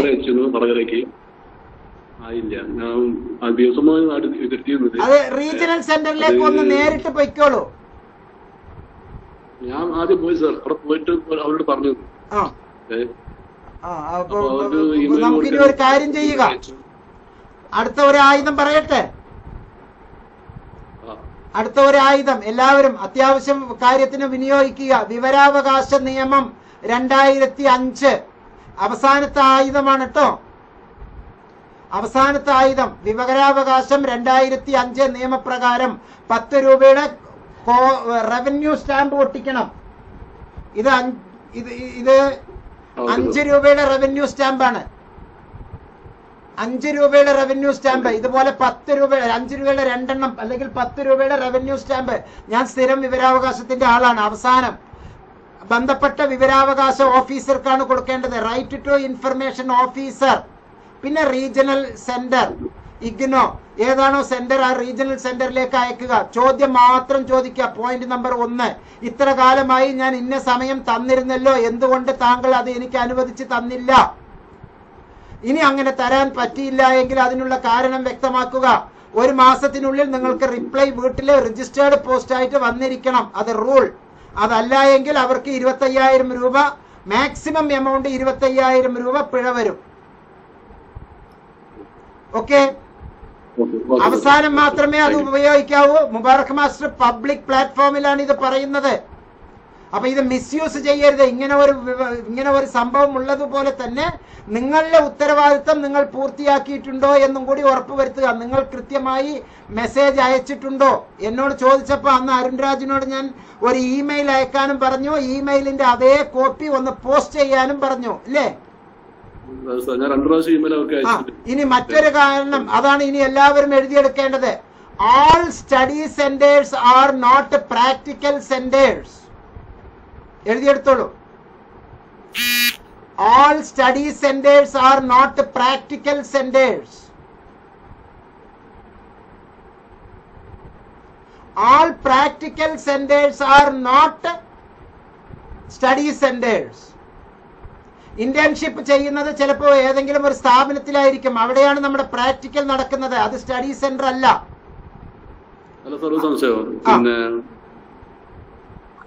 പിന്നെ സൈക്കോളജിക്ക് ഇന്റേൺഷിപ്പ് നിർബന്ധം ഉണ്ടോ? അവസാനത്തെ കൊല്ലത്തിൽ ഒരു ഇന്റേൺഷിപ്പ് ഉണ്ട്. ഓക്കെ. സൈക്കോളജി എന്നൊക്കെ പറഞ്ഞാൽ വളരെ വലിയ ഉത്തരവാദിത്തമുള്ള ഒരു സംഗതിയാണ്. അത് സില്ലിയായി കാണരുത് അല്ല സാർ ബി എ ഓണേഴ്സ് അല്ല ബി എ ഓണേഴ്സിന് ഉണ്ട്. ഓക്കെ. ഓക്കെ ഓണേഴ്സിന് ഉണ്ട്. ഓക്കെ അപ്പൊ ഇനി എന്തെങ്കിലും ഉണ്ടെങ്കിൽ എന്നോട് ചോദിച്ചോളൂ അരുൺ രാജ് ഓക്കെ ഓക്കെ നമ്മൾ തമ്മിൽ നല്ല ബന്ധമാണല്ലോ. ഓക്കെ അടുത്ത ഒരാൾ. ഹലോ ആ പറഞ്ഞോളൂ. ഹലോ ആ രഞ്ജു പറഞ്ഞോളൂ. ഹലോ സർ ഞാൻ കൃഷ്ണവേണിയാണ്. ആ കൃഷ്ണവേണി ടീച്ചർ. കർണാടക. കർണാടക. അതെ.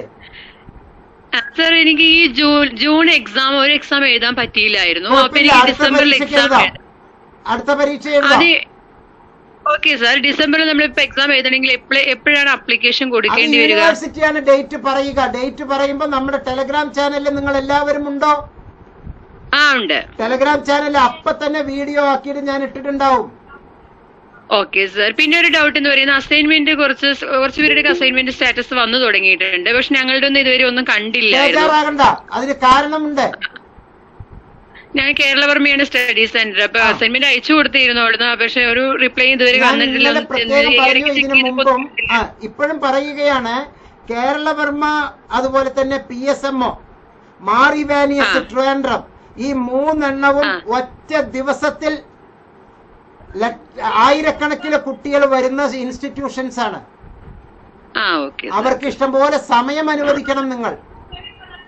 പരീക്ഷയ്ക്ക് വേണ്ടി ഫീസ് അടയ്ക്കുമ്പോ ഒറ്റ ദിവസത്തിൽ ഇവരുടെ സെന്റർ എല്ലാം തന്നെ ഫില്ലാവും. എന്നിട്ടും പാവം ഐശ്വര്യ മിസ്സും അവിടുത്തെ നസിറുദ്ദീൻ സാറും ഇവിടുത്തെ രവീന്ദ്രൻ സാറും അല്ല അലക്സാണ്ടർ സാറും എല്ലാവരും തന്നെ വീണ്ടും വീണ്ടും കുട്ടികളെ ഇഗ്നോയ്ക്ക് വേണ്ടി അതിന്റെ അകത്തേക്ക് പരീക്ഷയ്ക്ക് വരുന്നത് ഞാൻ എന്റെ കണ്ണുകൊണ്ട് ഈ മൂന്ന് കോളേജുകളിലും ഞാൻ കണ്ടതാണ്. അത്രയും പണി പണിയെടുക്കുന്ന വലിയ മനസ്സിന്റെ ഉടമകളാണ്. ഇഗ്നോ നാമമാത്രമായ ഫീ അവർക്കൊക്കെ കൊടുക്കുന്നുള്ളൂ. അഞ്ചാറ് മാസമായിട്ട് ചിലപ്പോൾ കൊടുത്തിട്ടും ഉണ്ടാവില്ല. എന്നിരുന്നാൽ പോലും ഈ പ്രിയപ്പെട്ട കോർഡിനേറ്റർമാർ അവരുടെ ജീവിതം മുഴുവനും ഇതിനു വേണ്ടി അർപ്പിക്കുന്നുണ്ടെന്ന് നേരിട്ട് കണ്ടിട്ടുള്ള വ്യക്തിയാണ് ഞാൻ.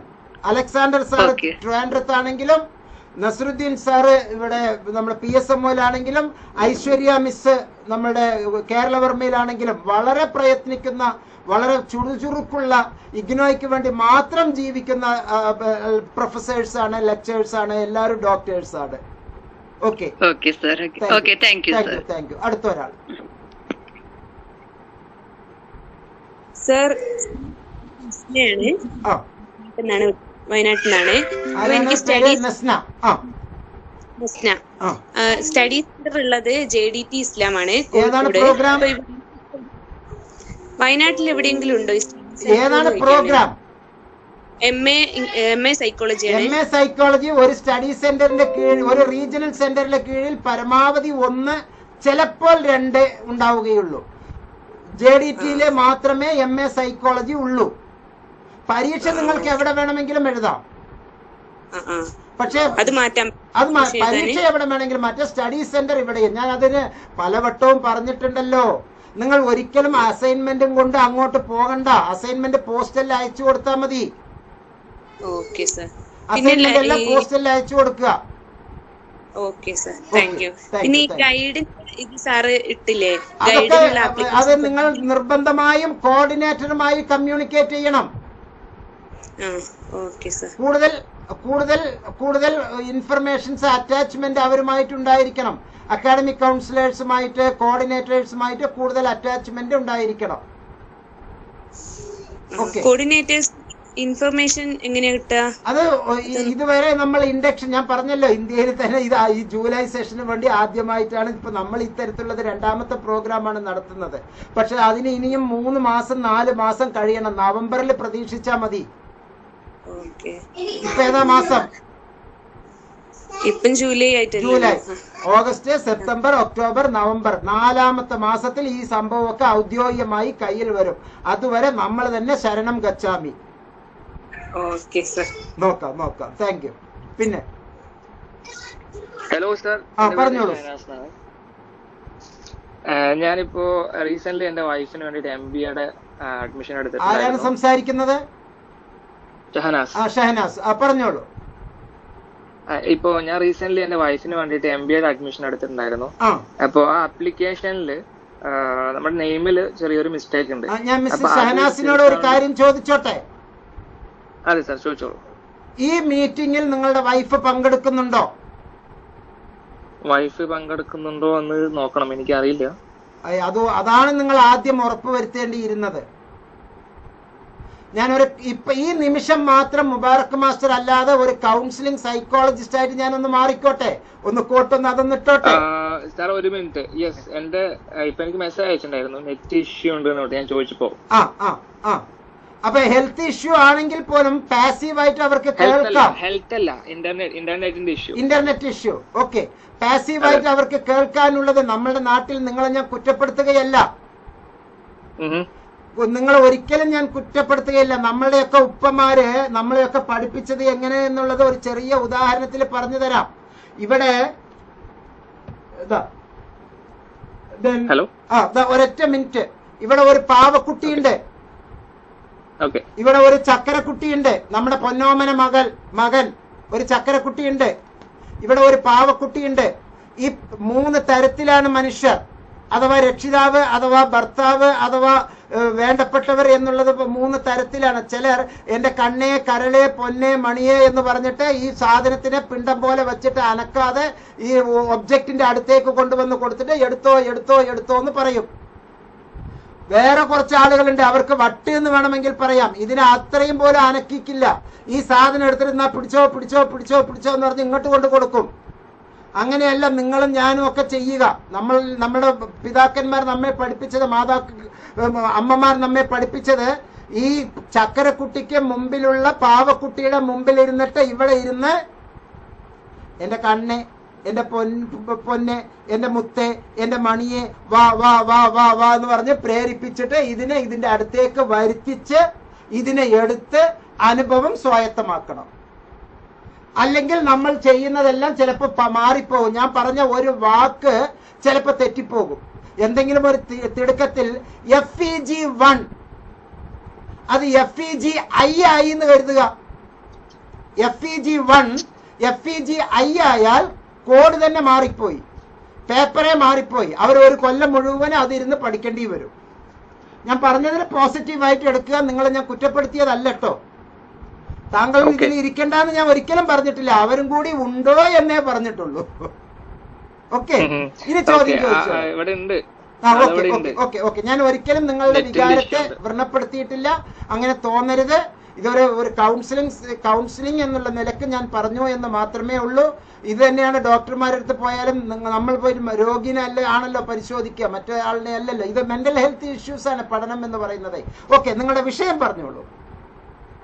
ഓക്കെ അപ്പൊ അതിൽ നമ്മുടെ ആപ്ലിക്കേഷനിൽ ഒരു മിസ്റ്റേക്ക് ഉണ്ടായിരുന്നു നെയിമിൽ അത് തിരുത്താൻ പറ്റുമോ എന്ന് അല്ലേ? അതെ തിരുത്തണം അത്. അഡ്മിഷൻ എനിക്കൊന്ന് വാട്സപ്പ് ചെയ്താൽ മതി ഞാൻ വേണ്ട ഹെൽപ്പ് ചെയ്തു തരാം. അതെ ഓക്കെ ശരി വളരെ സിമ്പിൾ വളരെ സിമ്പിൾ കേട്ടോ? ഓക്കെ. ഓക്കെ റെഡി ഞാൻ okay thank you thank you okay. Okay. Then അടുത്ത ഒരാൾ. ആ പറഞ്ഞോളൂ. സാർ എന്റെ പേര് സ്നേഹ. ഞാൻ ഇന്നലെ നമ്മൾ ഇതൊക്കെ ഡിസ്കസ് ചെയ്തിട്ടുണ്ടല്ലോ ഓർക്കുന്നുണ്ടല്ലോ? ഇപ്പൊ ചോദിച്ചത് സ്പെല്ലിംഗ് മിസ്റ്റേക്ക് അങ്ങനെ ഇങ്ങനെ എന്നുള്ളതൊക്കെ തിരുത്തണം നോക്കണം എന്നുള്ളത് ഞാൻ ഇന്നലെ മീറ്റിംഗിൽ പറഞ്ഞിട്ടുണ്ടല്ലോ. ഉണ്ടെങ്കിൽ എസ് എസ് എസ് എന്നൊന്ന് ടൈപ്പ് ചെയ്യൂ. അല്ലെങ്കിൽ നോ നോ നോ എന്ന് ശക്തമായി ടൈപ്പ് ചെയ്യൂ. ബോൾഡിൽ ടൈപ്പ് ചെയ്യൂ. ഇന്നലെ നമ്മൾ ഇത് തിരുത്തുണ്ടെങ്കിൽ വേണം എന്നുള്ളത് പറഞ്ഞിട്ടുണ്ട്. Double S okay okay good good good thank you thank you okay okay okay ഇനി അടുത്തവരാ പറഞ്ഞോളൂ. ആരാണ് ഇനി? ഓക്കെ മതി. പറഞ്ഞോളൂ പറഞ്ഞോളൂ. ആ പറഞ്ഞോളൂ. ആ ജാസ്മിൻ. ഞാൻ ആ രണ്ടായിരത്തി ഇരുപത്തി മൂന്ന് ജനുവരി സെക്ഷൻ അഡ്മിഷൻ എടുത്താണ് എം എ അറബിക്ക്. ആ. അപ്പോ എനിക്ക് സ്റ്റഡി സെന്റർ കിട്ടിയിരിക്കുന്നത് കലൂർ എറണാകുളം. ആ. നമുക്ക് സ്റ്റഡി മെറ്റീരിയൽസ് ഒക്കെ എങ്ങനെയാണ് കിട്ടുക എന്നുള്ളത് ഓക്കെ. ഇതുവരെ ഇന്നലെ ജാസ്മിൻ ഉണ്ടായിരുന്നോ? ഇല്ല സാർ ഇന്നലെ ഇന്നലെ, ഇന്നലത്തെ നമ്മൾ ഇതേ കാര്യം ഇന്നലെ ഡിസ്കസ് ചെയ്തിരുന്നു. എന്നിരുന്നാൽ പോലും ഞാൻ അത് പറഞ്ഞു തരാം. നമ്മൾ നിർബന്ധമായിട്ടും ഡൗൺലോഡ് ചെയ്യണം എല്ലാ സ്റ്റഡി മെറ്റീരിയലും അഡ്മിഷൻ എടുത്തിട്ടുണ്ടെങ്കിലും എടുത്തിട്ടില്ലെങ്കിലും ഈ ഗ്യാൻ ഘോഷ് എഴുതിയെടുത്തോളൂ ഹോം പേജിൽ മൂന്നാമത്തത്. പറയോ സാർ ഒരു വട്ടം കൂടെ പറയോ Gyan G Y A N Gyan K H O S H Ghosh. ഗ്യാ- Gyan Ghosh. Gyan ഘോഷിൽ ഗ്യാൻ ഘോഷ് എന്ന് അറിവിന്റെ ഭണ്ഡാരം. അറിവിന്റെ നിധി. യശ്വക്കർ ട്രഷറി എന്നുള്ള അർത്ഥം. അപ്പൊ അതിൽ നമ്മുടെ എല്ലാ ബുക്കുകളും അതിന്റെ അകത്തുണ്ട്. ഓക്കെ സാർ പക്ഷെ അത് അറിയണമെങ്കിൽ നിങ്ങൾ ഏത് സ്കൂളിൽ പെടും എന്നറിയും. അറിയണം. നമ്മൾ പത്താം ക്ലാസ്സിൽ പഠിച്ച സ്കൂളല്ല നമ്മുടെ ഡിപ്പാർട്ട്മെന്റിനൊക്കെ സ്കൂൾ ഓഫ് എന്നാണ് പറയുക. നിങ്ങൾ സ്കൂൾ ഓഫ് ഫോറിൻ ലാംഗ്വേജിൽ ഉൾപ്പെടും. ആ ഓക്കെ സാർ. അത് നോക്കിയിട്ട് വേണം എടുക്കാൻ. പിന്നെ ഈ എല്ലാം ഡൗൺലോഡ് ചെയ്യുമ്പോൾ സിപ്പ് ആയിട്ട് ഒന്നിച്ച് എടുക്കും. ബ്ലോക്ക് വൈസ് ആയിട്ട് എടുക്കുക. ഓരോ യൂണിറ്റ് വൈസ് ആരും എടുക്കരുത്. എഴുതിയെടുത്തോളൂ. Download block wise download block wise block wise download ചെയ്താൽ പത്ത് ചാപ്റ്ററും ഒന്നിച്ച് കിട്ടും. മറ്റത് ഓരോ ചാപ്റ്റർ ഓരോ ചാപ്റ്റർ അവസാനം അഞ്ഞൂറ്റി നാൽപ്പത് ചാപ്റ്റർ ഇങ്ങനെ കിടക്കും. അത് ഏതെന്ന് കണ്ടുപിടിക്കാൻ തന്നെ ഒരുപാട് സമയം വേണ്ടി വരും. അപ്പോൾ എല്ലാവരും നിർബന്ധമായിട്ട് എഴുതി വെക്കുക. Download the study materials in block wise block block ആയിട്ട് എടുത്തു വെക്കുക. അപ്പോൾ ഒരു പേപ്പറിന് നാല് ബ്ലോക്ക് ഉണ്ടാവും. ഒരു പേപ്പറിന് അഞ്ച് ബ്ലോക്ക് ഉണ്ടാവും. ഒരു പേപ്പറിന് മൂന്ന് ബ്ലോക്ക് ഉണ്ടാവും. ഇനി എല്ലാവരും എഴുതിയെടുക്കാൻ വേണ്ടി ഒരു കാര്യം. നാല് ക്രെഡിറ്റ് ഉള്ളതിന് അധികപക്ഷവും ആ ഒരു വാക്ക് ഉപയോഗിക്കുന്നുണ്ട് കേട്ടോ അധികപക്ഷം മോസ്റ്റ് പ്രോബബിളി ഫിഫ്റ്റി മാർക്സ് ആയിരിക്കും examination fifty marks examination time duration two hours time two hours ആറ് ക്രെഡിറ്റ് എട്ട് ക്രെഡിറ്റ് ആറ് ക്രെഡിറ്റ് എട്ട് credit three hours examination hundred mark hundred mark അമ്പത് മാർക്കിന്റെ ആണെങ്കിൽ രണ്ട് മണിക്കൂർ. നൂറ് മാർക്കിന്റെ ആണെങ്കിൽ മൂന്ന് മണിക്കൂർ. അതാണ് സ്റ്റാൻഡേർഡ് ടൈം. ചിലതിന് അങ്ങോട്ടും ഇങ്ങോട്ടും ചെറിയ വ്യത്യാസം ഉണ്ടാവും പരീക്ഷാ പേപ്പർ നന്നായിട്ട് അതിനൊക്കെ ഫെമിലറൈസേഷൻ ഓഫ് ക്വസ്റ്റ്യൻ പേപ്പർ എന്നുള്ളത് നമ്മൾ ഒരുപാട് വീഡിയോസ് ഇറക്കിയിട്ടുണ്ട്. നിങ്ങൾ നിർബന്ധമായും ചെയ്യേണ്ടത് വേണമെങ്കിൽ ഒരു വലിയ സ്റ്റാർ കൊടുത്തിട്ട് ഒരു ആരോ മാർക്കൊക്കെ കൊടുത്ത് ഇവനെ സൂക്ഷിക്കുക എന്നൊക്കെ എഴുതി വെച്ചിട്ട് ഒരു കാര്യം ശ്രദ്ധിക്കുക. Daily watch Telegram channel M notes Telegram channel daily രണ്ട് പ്രാവശ്യമാണെങ്കിൽ അത്രയും നല്ലത്. Daily watch observe Telegram channel daily watch M notes YouTube channel എനിക്ക് റീച്ച് കൂടാനൊന്നും അല്ലട്ടോ. നിങ്ങൾക്ക് പഠനം എളുപ്പമാകാൻ വേണ്ടി. ഒരു കോളേജിന്റെ ഒരു വലിയ കോളേജിൽ പല ഡിപ്പാർട്ട്മെന്റുകളുണ്ട്. ഇവിടെ തന്നെ എഴുപത് പേര് പങ്കെടുക്കുന്നു എങ്കിൽ ഈ എഴുപത് പേരിൽ എഴുപത് പേരിൽ നിർബന്ധമായിട്ടും അഞ്ച് തരത്തിൽ എട്ട് തരത്തിൽ പത്ത് തരത്തിലുള്ള ഡിപ്പാർട്ട്മെന്റിലെ ആളുകളുണ്ട്. അവർക്കെല്ലാം ഉള്ള ഒരൊറ്റ നോട്ടീസ് ബോർഡാണ് നമ്മുടെ ടെലഗ്രാം ചാനൽ. ആ നോട്ടീസ് ബോർഡിൽ ഇപ്പോ ബി എ ഇംഗ്ലീഷിന്റെ വെച്ചു. ചിലപ്പോ സർട്ടിഫിക്കറ്റ് ഇൻ യോഗ എന്നുള്ളതായിരിക്കും വെക്കുക. പിന്നീട് എം എ അറബിക്കിന്റെ ആയിരിക്കും വെച്ചിട്ടുണ്ടാവുക. പിന്നെ എം ബി എയുടെ ആയിരിക്കും വെച്ചിട്ടുണ്ടാവുക. പിന്നെ ബി എസ് സി ഫിസിക്സിന്റെ ആയിരിക്കും വെച്ചിട്ടുണ്ടാവുക. വച്ചവർക്ക് അത് കിട്ടും. അപ്പൊ നോട്ടീസ് ബോർഡിൽ മാറി മാറി വന്നുകൊണ്ടേ ഇരിക്കും ഉണ്ടോ ഉണ്ടോ ഉണ്ടോ എന്ന് നിങ്ങൾ വാച്ച് ചെയ്തുകൊണ്ടേ ഇരിക്കണം അടുത്തൊരു ചോദ്യം. സർ ഞാൻ ഇന്നലെ ജോയിൻ ചെയ്യാൻ പറ്റിയിരുന്നില്ല മീറ്റിംഗിൽ സ്നേഹ. സർ ഈ ഒരു വാട്സപ്പ് ഗ്രൂപ്പ് ഉണ്ടോ സർ? അതെ വാട്സപ്പ് ഗ്രൂപ്പ് ഉണ്ട് ടെലഗ്രാം ചാനലിലെ കമ്മ്യൂണിറ്റി ഗ്രൂപ്പുകളുണ്ട്. ഒരു കമ്മ്യൂണിറ്റിയിലെ ഇരുപത് സബ് ഗ്രൂപ്പ് ഉണ്ടാവും ഓക്കെ സർ. അങ്ങനെയുള്ള ഗ്രൂപ്പുകളെല്ലാം ടെലഗ്രാം ചാനലിന്റെ അകത്തുണ്ട്. ടെലഗ്രാമിന്റെ പ്രത്യേകത വാട്സപ്പ് പോലെയല്ല. പണ്ടത്തെയും അതിന്റെ അകത്തുണ്ടാവും. നമ്മൾ ഇപ്പോഴാണ് ജോയിൻ ചെയ്തത് എങ്കിൽ പോലും ജോയിൻ ചെയ്യുന്നതിന് മുമ്പേ അതിന്റെ അകത്ത് എന്തൊക്കെ ഇടപാടുകൾ നടന്നിട്ടുണ്ടോ അതൊക്കെ ഡിലീറ്റ് ചെയ്തിട്ടില്ല എങ്കിൽ അവിടെ തന്നെ കിടക്കുന്നുണ്ടാവും. ഞാൻ ഇതുവരെ ഒന്നും ഡിലീറ്റ് ചെയ്തിട്ടില്ല. അത് അവിടെ കിടക്കുന്നുണ്ട്. Okay sir thank you thank you thank you അടുത്ത ഒരാൾ. യെസ് ചോദിച്ചോളൂ. സ്റ്റഡി മെറ്റീരിയൽസ് എങ്ങനെ ബി ഇംഗ്ലീഷ് രവി കളത്തിൽ. ഒന്ന് ഉറക്കെ ചോദിക്കാമോ? കേൾക്കുന്നില്ല. ടെക്സ്റ്റ് ബുക്ക് കിട്ടുന്ന കാര്യമാണ് ഇപ്പൊ ഞാൻ പറഞ്ഞത്. നാല് മാസമെങ്കിലും മിനിമം ടൈം എടുക്കും. അതിന് നിങ്ങളെ സഹായിക്കാൻ ഏറ്റവും നല്ല റെഫറൻസ് മെറ്റീരിയൽ കിട്ടും. M S C C F ടിയുടേത് school of extension studies ഇത് നിങ്ങളുടെ അപ്ലിക്കേഷൻ ഫോമില്ലേ അതിലുണ്ട് കേട്ടോ അപ്ലിക്കേഷൻ ഫോമിൽ അതുണ്ട്. ഓക്കെ അപ്പൊ നിങ്ങൾക്ക് ബുക്കിന് മുമ്പേ ബുക്ക് വേണം എന്നുണ്ടെങ്കിൽ ലേബർ ഇന്ത്യ മോഡലിലുള്ള റെഫറൻസ് മെറ്റീരിയൽ കാശ് കൊടുത്ത് വാങ്ങാം. ഞാൻ അതിനുള്ള എല്ലാ സൗകര്യവും ചെയ്തു തന്നിട്ടുണ്ട്. നിങ്ങൾക്ക് തരുന്ന എല്ലാ മെസ്സേജിലും പോയിന്റ് നമ്പർ നാലിൽ ഈ ഫോം ഉണ്ട്. ഗൂഗിൾ ഫോം ഉണ്ട്. റെഫറൻസ് മെറ്റീരിയലിന് നിങ്ങൾക്ക് അത് ഉപയോഗിച്ച് വാങ്ങാവുന്നതാണ്. അടുത്തത്. എം നോട്ട്സ് ഉള്ള ചാനൽ തന്നെയല്ലേ M notes M notes sir അതിൽ അതിലാണോ കമ്മ്യൂണിറ്റി ഉള്ളത്? അതിന്റെ അകത്ത് വാട്സപ്പ് കമ്മ്യൂണിറ്റി ഉണ്ട്. ഇപ്പൊ തന്നെ നോക്കിയിട്ട് ഈ മീറ്റിംഗിന്റെ സമയം ഡീവിയേറ്റ് ചെയ്യണ്ട. സ്നേഹ പതുക്കെ ചെയ്താൽ മതി കേട്ടോ? ടൈം ഉണ്ട്. സാർ ഞാൻ doubt വെച്ചോട്ടെ? Cherpulassery ideal college exam centre വരുന്നുണ്ടോ? ചിലപ്പോൾ. ഓക്കെ ഞാനിപ്പോ. അപ്പൊ ഞാൻ കൊടുത്തിട്ടുണ്ട് ഇപ്പൊ തൃശ്ശൂർ കേരളവർമ്മയിലാണ് അപ്പൊ അല്ലാതെ നമുക്ക് ചെറുപ്പശ്ശേരി ഒന്നും അവിടെ എഴുതാൻ പറ്റും എക്സാം ഒക്കെ ഇന്നത്തെ ദിവസത്തിൽ നമുക്ക് അതിനെ പറ്റി സംസാരിക്കേണ്ട കാര്യമില്ല. ഞാൻ ചില കാര്യത്തിൽ നിർബന്ധം പിടിക്കാറുണ്ട്. ഇപ്പൊ അതിനെപ്പറ്റി യൂണിവേഴ്സിറ്റി പറയാതെ നമ്മൾ ഓവർ സ്മാർട്ട് ആകണ്ട. സബൂർക്കരോ? സുഖമായിട്ട് രാത്രി ഉറങ്ങും. എന്തിനാ ഉറക്കക്കേട് ഉണ്ടാക്കണേ പരീക്ഷയ്ക്ക് ഒരു മാസം മുമ്പ് പരീക്ഷയ്ക്ക് മൂന്ന് മാസം മുമ്പ് ചിന്തിച്ചാ മതി. ഓക്കെ ഗുഡ് ഈവനിങ് സാർ ആ ഗുഡ് ഈവനിങ് പ്രതിഭ രമേശ് പറഞ്ഞോളൂ. ഹലോ ഞാൻ എം എ എഡ്യൂക്കേഷൻ ആണ് എടുത്തിട്ടുള്ളത്. ഓക്കെ അപ്പൊ സാർ ഈ റെഫറൻസ് മെറ്റീരിയൽസിനെ കുറിച്ച് പറഞ്ഞിരുന്നല്ലോ. ഇന്നൊരു ലിങ്കും കണ്ടു. അപ്പൊ അതിൽ ഇങ്ങനെ കോഴ്സ് കോഡ് ചോദിക്കുന്നുണ്ട്. അപ്പൊ എം ഇ എസ് ആ എം ഇ എസ് അത് വ്യക്തമായിട്ട് അപ്ലിക്കേഷൻ ഫോമിൽ നിങ്ങൾക്ക് പ്രിന്റ് ഔട്ട് കിട്ടിയില്ലേ?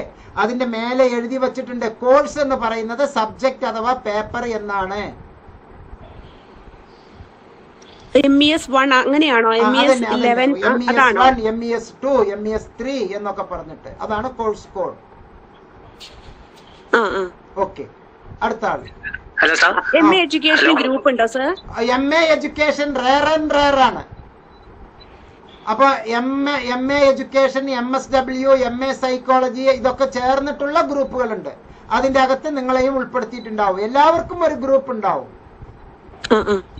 ഓക്കെ ഇപ്പൊ വേറെ പിന്നെ ഈ സ്റ്റഡി മെറ്റീരിയൽസ് എടുക്കുമ്പോ ചിലതിലൊന്നും കാണുന്നില്ല. ചിലത് കിട്ടുന്നുണ്ട് ചിലതിൽ സൈഡ് നോട്ട് ഫൗണ്ട് എന്ന് പറയും ഇതിന്റെ ഇടയിൽ കൂടിയിട്ട് ഇപ്പൊ തന്നെ അതിന്റെ ഉത്തരം ചെയ്യിപ്പിക്കല്ലേ കുട്ടി? നമുക്കിത് കോമൺ ആയിട്ട് കുറെ കാര്യങ്ങൾ പോട്ടെ. ഒപ്പം തന്നെ പരീക്ഷണം വേണ്ട. ഹോം സയൻസിൽ അപ്പുറത്ത് രസം ഉണ്ടാക്കുമ്പോൾ വേണമെങ്കിൽ രസം നമുക്കൊന്ന് ടേസ്റ്റ് ചെയ്ത് നോക്കാം. പക്ഷെ ഈ ക്ലാസിന്റെ ഇടയിൽ അപ്പൊ തന്നെ ടേസ്റ്റ് ചെയ്ത് നോക്കല്ലേ? Okay okay. Okay okay. Then അടുത്ത ആൾ ഹലോ? ആ ജാസി പറഞ്ഞോളൂ. ഇന്നത്തെ മീറ്റിംഗിൽ. ആദ്യമായിട്ട് വന്ന ആളാണ് ജാസി. രണ്ടായിരത്തി ഇരുപത്തി മൂന്ന് ജൂലൈയിലാണ് ജാസി? ഹലോ? ആ പറഞ്ഞോളൂ. ആ ഞാൻ ജൂലൈ രണ്ടായിരത്തി ഇരുപത്തി മൂന്നിലാണ് അഡ്മിഷൻ എടുത്തത് ഇപ്പൊ ആ, അപ്പൊ എനിക്ക് എക്സാം ഇപ്പൊ ഡിസംബറിൽ ഉണ്ടാവണതിന്റെ മുമ്പ് കമ്പൽസറി ആയിട്ട് ചോദിക്കുമ്പോ ആദ്യം കോഴ്സ് ഏതാണ്? പ്രോഗ്രാം ഏതാണെന്ന് പറയണം. ഞാൻ എം കോം ആണ് സാർ എം കോം ആണെങ്കിൽ ഉടൻ പരീക്ഷ ഉണ്ടാവും. അപ്പൊ അതിന് മുമ്പായിട്ട് കമ്പൽസറി ആയിട്ട് എന്താ ചെയ്യേണ്ടതെന്ന് അറിയില്ല. അപ്പൊ അഡ്മിഷൻ എടുത്തിട്ടുള്ളൂ. ജൂലൈ അഡ്മിഷൻ കിട്ടിയിട്ടുണ്ട്. അഡ്മിഷൻ എടുത്തത് എവിടുന്നാണ് ടെലഗ്രാം ചാനലിൽ ജോയിൻ ചെയ്തിട്ടുണ്ടോ? ജോയിൻ ചെയ്തിട്ടുണ്ട്. ഇന്നത്തെ മീറ്റിംഗിൽ അതൊക്കെ അതൊക്കെ ഡിസ്കസ് ചെയ്യാൻ തന്നെയാണ് ജാസിനെയൊക്കെ ഇന്നത്തെ മീറ്റിംഗിൽ വരാൻ പറഞ്ഞത്. ഇന്നലെ പറഞ്ഞിരുന്നു. നമ്മൾ. ഇന്നലെ നമ്മൾ ഇത് പറഞ്ഞിരുന്നു. ഒരിക്കൽ കൂടി ഞാൻ സംസാരിക്കും ഒരിക്കൽ കൂടി ആ വിഷയം പറയുന്നു. നോട്ടിൽ എല്ലാവരും എഴുതിയെടുത്തോളൂ. Okay no problem. അത് ഒരിക്കൽ കൂടി ഞാൻ പറയാം. എഴുതിയെടുത്തോളൂ. എല്ലാവരും. സെമസ്റ്റർ പ്രോഗ്രാം ആണ് ചെയ്യുന്നത് എങ്കിൽ നമ്മുടെ കോഴ്സ് പീരീഡിന്റെ മൂന്ന് മാസം മുമ്പ്. എങ്ങനെ? ഞാൻ ആദ്യത്തെ അല്ലട്ടോ പറയുന്നത്. Course period. കോഴ്സ് പീരീഡ് എന്ന് പറയുന്നത് ഏതാണ്? ഇപ്പൊ ജൂലൈ ഇരുപത്തി മൂന്ന് എടുക്കുന്നു. സെമസ്റ്ററുകാരുടെ കോഴ്സ് വരുന്നത് അടുത്ത കോഴ്സ് വരുന്നത് ജാനുവരി ഇരുപത്തിനാല്. ആനുവൽകാരുടെ വരുന്നത് അടുത്ത ജൂലൈ ഇരുപത്തിനാല്. അതാണ് കോഴ്സ് പീരീഡ്. ഒരു കൊല്ലം അല്ലെങ്കിൽ ആറ് മാസം. ആ ആറു മാസത്തെ കോഴ്സ് ചെയ്യുന്നവർ ആറു മാസത്തിന്റെ മൂന്ന് മാസം മുമ്പ്. ആനുവൽ പ്രോഗ്രാം ചെയ്യുമ്പോൾ പന്ത്രണ്ട് മാസത്തിന്റെ മൂന്ന് മാസം മുമ്പ്. അഥവാ മൂന്നാമത്തെ മാസം അല്ലെങ്കിൽ ഒമ്പതാമത്തെ മാസം. ആർക്കാണ് മൂന്നാമത്തെ മാസം? ആനുവൽ പ്രോഗ്രാം ആ സെമസ്റ്റർ പ്രോഗ്രാം ചെയ്യുന്നവർ. അപ്പൊ നിങ്ങൾ സി ബി സി എസ്സുകാർ ചോദിക്കും. ചോയ്സ് ബേസ്ഡ് ക്രെഡിറ്റ് സിസ്റ്റം ചോദിക്കും. സാറേ ഞങ്ങളുടെ സെമസ്റ്റർ എന്നാണല്ലോ കാണുന്നത്. സെമസ്റ്റർ എന്നേ കാണുന്നുള്ളൂ. പക്ഷേ നിങ്ങൾക്കത് ആനുവൽ ആണ്. അഡ്മിഷൻ എടുത്ത് അപ്ലിക്കേഷൻ തന്ന ഉടനെ ഞാൻ പറയുന്നുണ്ടല്ലോ. ഫീസിന്റെ കാര്യം പറയുമ്പോൾ ഞാൻ പറയാറുണ്ടല്ലോ. ഇത്രയാണ് ഫീസ്. പതിനൊന്നാം മാസമാണ് ഇനി നിങ്ങൾക്ക് ഫീസ് അടയ്ക്കേണ്ടത് മൂന്നാമത്തെ മാസമാണ് നിങ്ങൾക്ക് ഫീസ് അടയ്ക്കേണ്ടത് എന്ന് കൃത്യമായിട്ട് ഞാൻ ശബ്ദ സന്ദേശം തരാറുണ്ട്. അങ്ങനെ തന്നിട്ടേ ഫീസിന്റെ കാര്യം ഞാൻ പറയാറുള്ളൂ. അപ്പൊ തന്നെ ഞാൻ നിങ്ങൾക്ക് റിപ്ലൈ തരാറുണ്ട്. പക്ഷെ പലരും അതൊന്നും മൈൻഡ് ചെയ്യാറില്ല. അവരെല്ലാം തിടുക്കത്തിലാണ് തിടുക്കത്തിലാണ്. ബേജാറപ്പ ബേജാറ്. ചുരുക്കത്തിൽ സെമസ്റ്ററുകാർ മൂന്ന് മാസ പരീക്ഷയ്ക്ക് മൂന്ന് മാസം മുമ്പ് ആനുവൽകാർ പരീക്ഷയ്ക്ക് മൂന്ന് മാസം മുമ്പ് അഥവാ ഒമ്പതാമത്തെ മാസം മൂന്ന് കാര്യം ചെയ്യണം. ഒന്ന് അസൈൻമെന്റ് ഫൈനലി സബ്മിറ്റ് ചെയ്യാൻ വേണ്ടി ഒരുങ്ങണം. അസൈൻമെന്റിന് വേണ്ടി ഒരുങ്ങിയിരിക്കണം. ഇപ്പൊ തന്നെ നിങ്ങൾക്ക് അസൈൻമെന്റിന് ഒരുങ്ങാം. നമ്പർ ടു ഈ അസൈൻമെന്റിന് വേണ്ടിയിട്ട് നിങ്ങൾക്ക്. ബുക്കുകളൊക്കെ ഇപ്പൊ തന്നെ വാങ്ങിക്കാം. മൂന്ന് മാസത്തിന് മുമ്പ് നിങ്ങൾ പരീക്ഷയ്ക്ക് ഫീസ് അടയ്ക്കണം. മൂന്ന് മാസം മുമ്പ് അടുത്ത സെഷന് റീ രജിസ്റ്റർ ചെയ്യണം. അപ്പൊ ഈ മൂന്നെണ്ണം ഒന്നിച്ചാണ് ഉള്ളത്. എന്തൊക്കെയാണ്? Assignment preparation and submission examination application re registration for the next semester or next year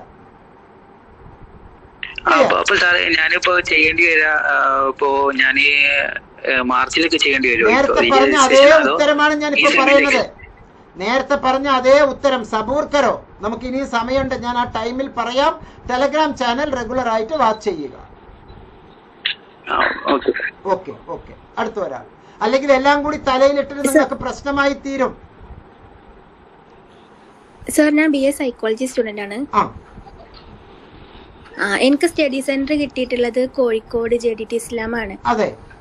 അപ്പൊ സാർ സാർ പറഞ്ഞല്ലോ പ്രാക്ടിക്കൽ സെന്റർ സ്റ്റഡി സെന്ററും പ്രാക്ടിക്കൽ സെന്ററും സെയിം ആവണമെന്നില്ല എന്നുള്ളത്. അതെ. ആ അപ്പോ അവിടെ തന്നെ ആവുമോ പക്ഷെ നിങ്ങളുടേത് അവിടെ തന്നെയാണ്. അവിടെയാണ്. എക്സാം സെന്ററും അവിടെ തന്നെ അത് പിന്നീട് നമുക്ക് തീരുമാനിക്കാം. സമയമാകുമ്പോൾ എല്ലാം നമ്മൾ സാധാരണ സിനിമയിൽ പറയാറില്ലേ ഓരോന്നിനും അതിന്റേതായിട്ടുള്ള സമയമുണ്ട് ദാസ. അതല്ല അത് കുറച്ച് ദൂരായിട്ടാണ്. അപ്പൊ അവിടേക്ക് എപ്പഴും പോണ്ടി വരുമോന്നില്ലേതാ അതെ ഇയാളാണോ ആൾ? അതെ അതെ. ഓ ഇനി ഞാൻ വേറെ ചോദിക്കട്ടെ? വേണ്ടത് ബി എ സൈക്കോളജി അല്ലേ? യൂണിവേഴ്സിറ്റി അങ്ങനെ ഒരു തീരുമാനം പറഞ്ഞാൽ നമ്മൾ പോയേ പറ്റൂ. അതെ പ്രാക്ടിക്കലിന് അവിടെ പോയിട്ട് ചെയ്യേണ്ടി വരും പ്രാക്ടിക്കൽ അവിടെ പോയി ചെയ്യേണ്ടി വരും. പരീക്ഷ തൊട്ട തൊട്ടടുത്തത് ഏത് വേണം എന്നുള്ളത് മുബാറക് മാഷ് ശരിയാക്കി തരാം. കേട്ടോ ബേജാറാകണ്ട. എക്സാം വേറെ ഞാൻ ഏതെങ്കിലും ശരിയാക്കി തരാം ബേജാറാകണ്ട. ഓരോന്നിനും അതിന്റേതായിട്ടുള്ള സമയമുണ്ട് ദാസ. ആ okay okay don't worry don't worry sir ഞാൻ സുൽഫിയാണ് സംസാരിക്കുന്നത് പാലക്കാട്ട് നിന്ന് ആ. ബി എ ഇംഗ്ലീഷ് ആണ് എടുത്തിട്ടുള്ളത്. ആ. എനിക്ക് സ്റ്റഡി സെന്റർ കിട്ടിയിട്ടുള്ളത് കൊച്ചിനാണ്. ഓൾറെഡി സ്റ്റഡി സെന്ററിനെ കുറിച്ച്? പക്ഷെ എനിക്ക് അത്ര ശ്രദ്ധ ചെലുത്താൻ വേണ്ടി കഴിഞ്ഞില്ല. ചെറിയ കുട്ടികളുള്ള ഏതാണ് പ്രോഗ്രാം എനിക്ക് study centre study centre change ചെയ്യാനും എല്ലാം ഏതാണ് programme B A English honour ആ ബി എ ഇംഗ്ലീഷ് ഓണർ കിട്ടിയിട്ടുള്ളത്. രജിസ്റ്റർ ചെയ്തത് എവിടെയാ? മാറ്റാൻ പറ്റുമോ സർ രജിസ്റ്റർ ചെയ്തത് എവിടെയാ? അത് ഞാൻ സബ്മിറ്റ് ചെയ്തിട്ടില്ലായിരുന്നു പക്ഷെ എനിക്ക് ഫോം വന്നപ്പോ അതിൽ കൊച്ചിനായിരുന്നു ഉള്ളത്. ഏയ് വിവരക്കേടൊന്നും പറയരുത്. എന്റെ ചോദ്യം നന്നായി ശ്രദ്ധിക്കോ ഫെറിൻ. എന്റെ ചോദ്യം നന്നായി ശ്രദ്ധിക്കോ. ഇയാൾ ഇപ്പൊ അഡ്മിഷൻ എടുത്ത് കഴിഞ്ഞതാണോ? അതെ അഡ്മിഷൻ എടുത്തു കഴിഞ്ഞതാണ്. അഡ്മിഷൻ എടുത്തത് ആരാണ്? എടുത്ത് തന്നത് ഞാൻ ആരാണ് തന്നെയാണ്. ഏ? സാറായിരുന്നു. ഞാൻ അഡ്മിഷൻ എടുത്ത് മുബാറക് സാറായിരുന്നു ഞാൻ എടുത്ത് തന്നു. ഞാൻ എടുത്തു തന്നതിൽ ഇയാളുടെ വീട്. എവിടെയായിരുന്നു? പാലക്കാടാണ് സ്ഥലം. ഏതാണ് ഇപ്പൊ നമ്മൾ എടുത്തിരിക്കുന്നത്? കൊച്ചിനാണ്. ഏതാണ് program? B A English honour. B A English honours Mubarak മാഷ് എങ്ങനെ അയാൾ എങ്ങനെ ഇയാൾക്ക് അങ്ങനെ എടുത്തു തരും? ഇയാളുടെ വീട് തൊട്ടടുത്ത് വേറെ ഉള്ളപ്പോ തൊട്ടടുത്ത് കേരളവർമ്മ ഉള്ളപ്പോ എങ്ങനെ അങ്ങനെ എടുത്തു തരും? അവിടെ എന്തെങ്കിലും ഡാറ്റ കൊടുത്തായിരുന്നു സാർ ഫസ്റ്റ് ഫോം മാത്രമേ ഫില്ല് ചെയ്തിട്ടുണ്ടായിരുന്നുള്ളൂ. പിന്നെ സാറിനോട് സംശയം ചോദിച്ചപ്പോ അത് അത്ര ചെയ്താൽ മതി. ഇനി വേറെ ഒന്നും ചെയ്യേണ്ടതില്ല എന്ന് പറഞ്ഞപ്പോ കൊച്ചിൻ ഗൂഗിളിൽ തന്നിട്ടുള്ള ഫോമിൽ കുറെ എന്താ വൺ ടു എയ്റ്റ് എന്തോ സബ്മിറ്റ് ചെയ്യാനുണ്ട്. ഞാൻ ഫസ്റ്റ് ഫോം മാത്രമേ സബ്മിറ്റ് ചെയ്തിട്ടുണ്ടായിരുന്നുള്ളൂ. ആ. ആ പോയിന്റ് നമ്പർ ഒന്ന് ഗൂഗിൾ ഫോം പൂരിപ്പിക്കുമ്പോൾ അതിൽ കൃത്യമായിട്ട് ഇയാളുടെ അഡ്രസ്സ് വെച്ചിട്ടാണ് നമ്മൾ എടുക്കുന്നത്. ഇയാൾ അഡ്രസ്സ് തന്നിരുന്നത് ഏതായിരുന്നു? അതെ. ആ ആ അതെ അതെ. അഡ്രസ് ഏതാ തന്നിരുന്നത്? പാലക്കാട് അതെ അതെ. അഡ്രസ് പാലക്കാട് തന്നെയാണ് തന്നിരുന്നത്? സാർ തന്ന ഫോമിൽ കൊച്ചിന്നാണ് ഉള്ളത് മാറ്റാൻ പറ്റുമോ ഇയാൾ പറയുന്നത് ഇവിടെ വലിയ തെറ്റിദ്ധാരണ ഉണ്ടാക്കുന്നുണ്ട്. നീ സ്റ്റഡി സെന്ററിന്റെ കാര്യമാണോ പറയുന്നത്? റീജിയണൽ സെന്ററിന്റെ കാര്യമാണോ പറയുന്നത്? സ്റ്റഡി സെന്റർ അപ്ലിക്കേഷൻ ഫോം എടുത്ത് ഇപ്പൊ തന്നെ നോക്കൂ. അഡ്മിഷൻ സെന്റർ ആണോ റീജിയണൽ സെന്റർ സ്റ്റഡി സെന്റർ ആണോ റീജിയണൽ സെന്റർ ആണോ എന്ന് നന്നായിട്ട് നോക്കൂ. സ്റ്റഡി സെന്റർ സ്റ്റഡി സെന്ററിന്റെ കോഡ് അതിൽ പറഞ്ഞിട്ടുണ്ടോ?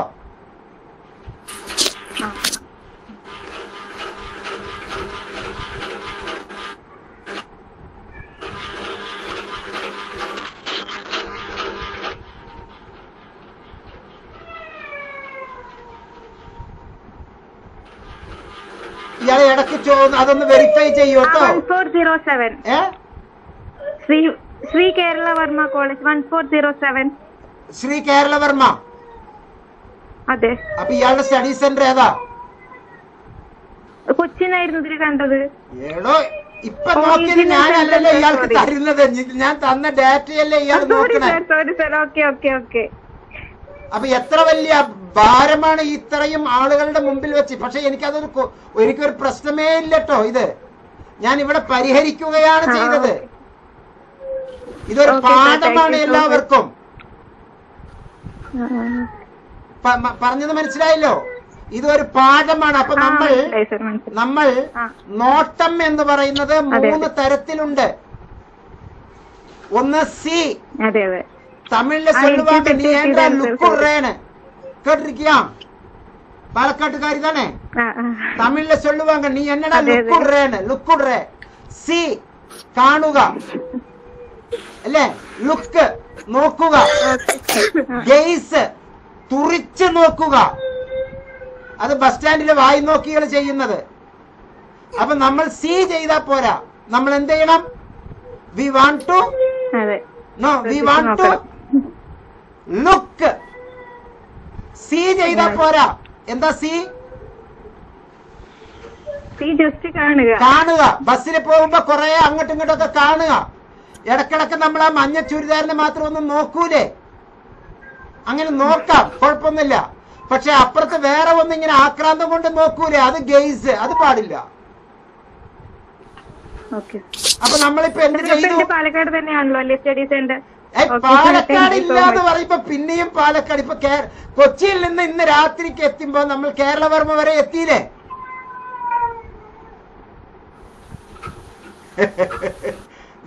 ഫെറിൻ കൊച്ചിയിലായിരുന്നില്ല ഇന്നലെ വരെ? ഇന്ന് അത് ഇവിടെ എത്തിയില്ലേ? കേരളവർമ്മയിൽ എത്തിയില്ലേ? ബേജാറാകണ്ട. അടുത്ത ആൾ. പ്രദീപ് കുമാർജി. അടുത്ത ആൾ. സർ ആ പറഞ്ഞോളൂ. ബിന്ദിയ. ബിന്ദിയാണേ ഓക്കെ പറഞ്ഞോളൂ. സർ എന്റെ പ്രൊ- പിന്നെ ബി കോം സ്റ്റുഡന്റ് ആണ് ഈ ജൂലൈയിൽ ഞാൻ അഡ്മിഷൻ എടുത്തതാണ്. അതിൽ അതിൽ ഓപ്ഷൻ ഉണ്ടോ സാറേ കോർപ്പറേഷൻ പിന്നെ ടാക്സ് പറഞ്ഞിട്ട്. അതൊക്കെ ചവറ് യൂണിവേഴ്സിറ്റി അല്ല പറയുന്ന വർത്തമാനമാണ്. ഞാൻ ഇഗ്നോയിലാണ് നിൽക്കുന്നത്. അതിന്റെ കാര്യം പറഞ്ഞു അല്ല പറഞ്ഞു തരാം പറഞ്ഞു തരാം. നമ്മുടെ നാട്ടിൽ ഈ പ്രൈവറ്റൈസേഷന്റെ ഭാഗമായിട്ടാണ് പറയുക. പ്രൈവറ്റൈസേഷന്റെ ഭാഗമാണ് കേട്ടോ പറയുന്നത്. ഒരു വലിയ നടൻ. കുറെ ദേശീയ അവാർഡുകൾ വാരിക്കൂട്ടിയ ഒരു നടൻ അടക്കം ഇന്ന് ടി വി തുറന്നാൽ വന്ന് പറയും എന്താ അതിന്റെ മൂല്യം? നിങ്ങൾ എന്തിനാ അമ്പത് ലക്ഷം രൂപ പത്ത് ലക്ഷം രൂപ നാൽപ്പത് ലക്ഷം രൂപ എഡ്യൂക്കേഷൻ ലോൺ എടുത്തിട്ട് അത് ചെയ്യുന്നത്? നിങ്ങൾക്ക് മിണ്ടാണ്ട് ഇത് ചെയ്താൽ പോരെ? അല്ലേ? എന്നിട്ട് അതേ നടൻ തന്നെ അടുത്ത ഒരു വീഡിയോ അടുത്ത ഒരു സ്റ്റില്ലിൽ പറയുന്നത് മാത്സിന് ഇത്തിരി വീക്കായാലും പോരാ നിങ്ങൾ ആ പോയ വീക്കായാലും പ്രശ്നമില്ല നിങ്ങൾ ആ കോഴ്സ് ചെയ്തോളൂ എന്ന്. ചാർട്ടേഡ് അക്കൗണ്ടൻസി എന്ന് പറയുന്ന സംഗതിക്ക് നിർബന്ധമാണ് മാത്സ്. അല്ലെങ്കിൽ നാട്ടുകാരുടെ ഒക്കെ കണക്ക് തെറ്റും അവന്റെ ഒക്കെ മേലെ ഇ ഡിയും വേറെ ജി എസ് ടി ഡിപ്പാർട്ട്മെന്റ് ഒക്കെ കയറി കുതിര കളിക്കും. എല്ലാ കടകളും. ആ ചാർട്ടേഡ് അക്കൗണ്ടൻസി ചെയ്യുന്ന ആൾക്ക് നമ്മുടെ ആദരണീയനായ നടൻ പറയുകയാണ് എന്ത് പറയുന്നു? കണക്ക് ഇത്തിരി മോശമായാലും തെറ്റില്ല എന്നാണ് പറയുന്നത്. പറഞ്ഞ മനസ്സിലായില്ലേ?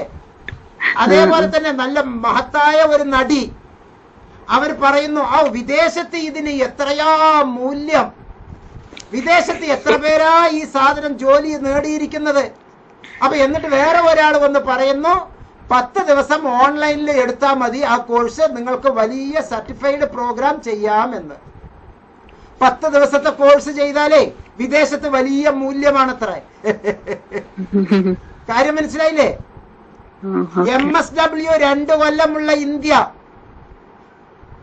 കാനഡയിലെ ഒറ്റ കൊല്ലത്തെ എം എസ് ഡബ്ല്യു മുപ്പത് ലക്ഷം രൂപ കൊടുത്ത് പഠിച്ചിട്ട് അവിടുന്ന് ഇങ്ങോട്ട് നാട്ടിലേക്ക് വന്ന ആ കുട്ടിക്ക് ഇവിടെ നരകമാണ് നരകം. ഇന്ത്യയിലെ സ്വർഗം പണിയുന്നവരുണ്ട് ഇപ്പൊ ഈ കൂട്ടത്തിൽ എം എസ് ഡബ്ല്യു രണ്ട് കൊല്ലം പഠിക്കുന്നവർ.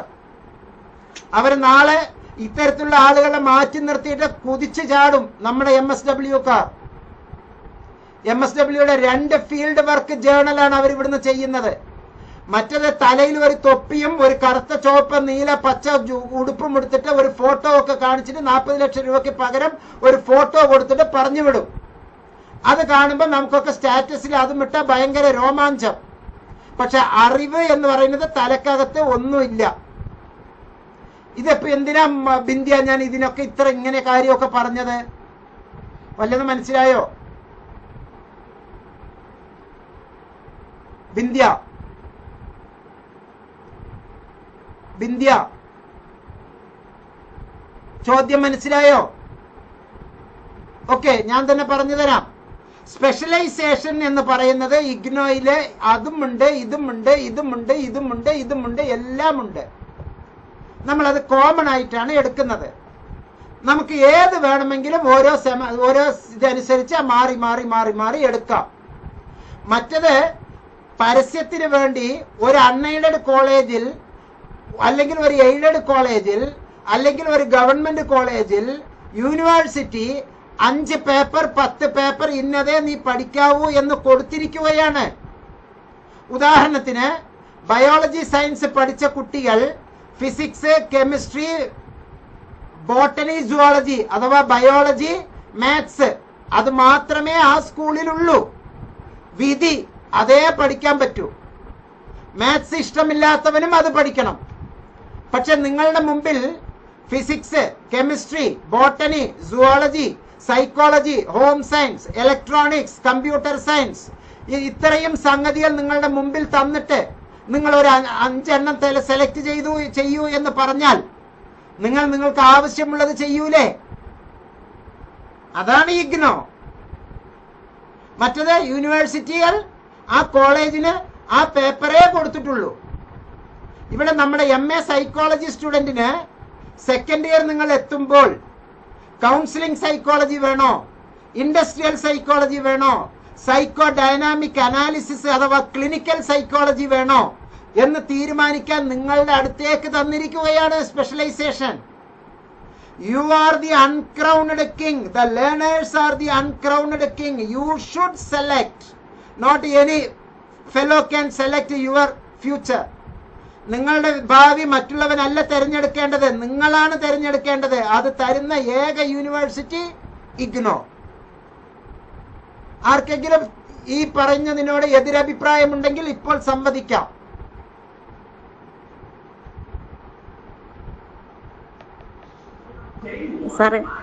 Sir hello. ആ പറഞ്ഞോളൂ ബിന്ദു സാർ പെട്ടെന്ന് പെട്ടെന്ന് നെറ്റ് കട്ടായത് സർ ഓക്കെ അപ്പോ എനിക്ക് കേൾക്കാൻ പറ്റിയില്ല. ആ ഇത്രയും നേരം ഒന്നും കേട്ടില്ലല്ലോ സന്തോഷമായി കൃതാർത്ഥനായി ഒരിക്കൽ കൂടി പറയാം.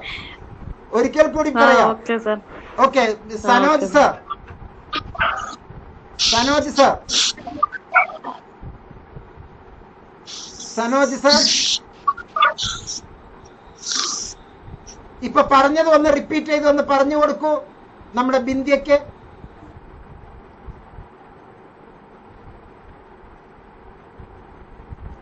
യെസ് അല്ലെങ്കിൽ വേറെ ആരെങ്കിലും വന്ന് പറഞ്ഞു കൊടുക്കൂ ബിന്ദ്യക്ക്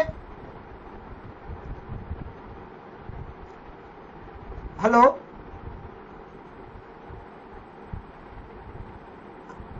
ആ ഷിനാസ് ഞാൻ പറഞ്ഞത് മനസ്സിലായോ? ഷിനാസ് ഞാൻ പറഞ്ഞത് മനസ്സിലായെങ്കിൽ ബിന്ദ്യക്ക് അതൊന്ന് പറഞ്ഞു കൊടുക്കൂ.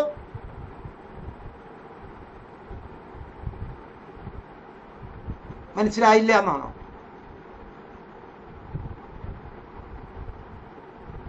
അപ്പൊ ആരാ പറഞ്ഞു കൊടുക്കുക? ആരെങ്കിലും ഒരാൾ പറഞ്ഞു കൊടുക്കൂ. ഞാൻ പറഞ്ഞത് എന്താണ് എന്ന്. ഓക്കെ പ്രദീപ് സർ ഒന്ന് പറഞ്ഞു കൊടുക്കൂ.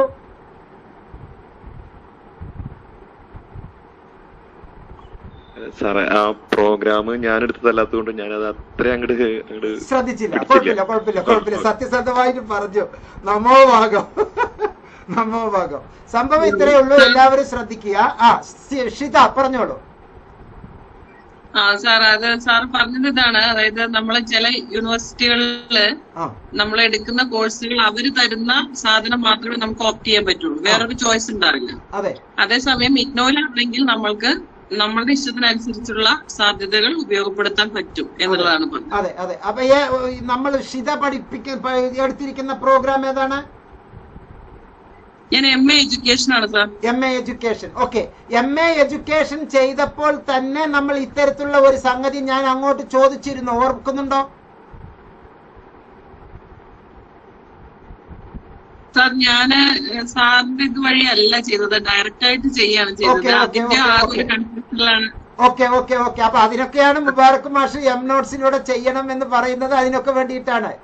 അപ്പൊ വേറെ നിങ്ങളായിട്ട് ചെയ്തതാണോ? വേറെ ആരെങ്കിലും ചെയ്ത് തന്നതാണോ? ഞാനിവിടെ മറ്റേ സെന്റർ വഴി ചെയ്തതാണ്. അതാണ് ഞാൻ ഇവിടെ പറഞ്ഞത്. ചിലരൊന്നും എക്സ്പേർട്ടുകൾ അല്ല ഒരു ഒരു ഉദാഹരണം പറഞ്ഞു തരാം ഒരു പേപ്പർ ഒരു പേപ്പർ എം എ എഡ്യൂക്കേഷനിൽ കൃത്യമായി നിങ്ങൾ ഏത് ലെവലിലുള്ള ടീച്ചറാണ് ഹൈസ്കൂളാണോ ഹയർ സെക്കൻഡറി ആണോ? യു പി ആണോ? എൽ പി ആണോ? സാർ ഞാനൊരു ഡി എഡ് കോളേജിലെ ടീച്ചറാണ്. ഡി എൽ എഡ് കോളേജ് അപ്പൊ എന്ന് പറഞ്ഞാൽ ഹയർ എഡ്യൂക്കേഷനിലാണ് അത് ഉൾപ്പെടുക. നിങ്ങൾക്ക് നെറ്റ് ആണോ ബാധകം? സെറ്റ് ആണോ ബാധകം? ഞങ്ങൾക്ക് നെറ്റ് ആണ്. നെറ്റ് ശരിക്കും ഇപ്പൊ നെറ്റും സെറ്റും മതി എന്ന് യു ജി സി കൊണ്ടുവന്നു. അതറിഞ്ഞല്ലോ?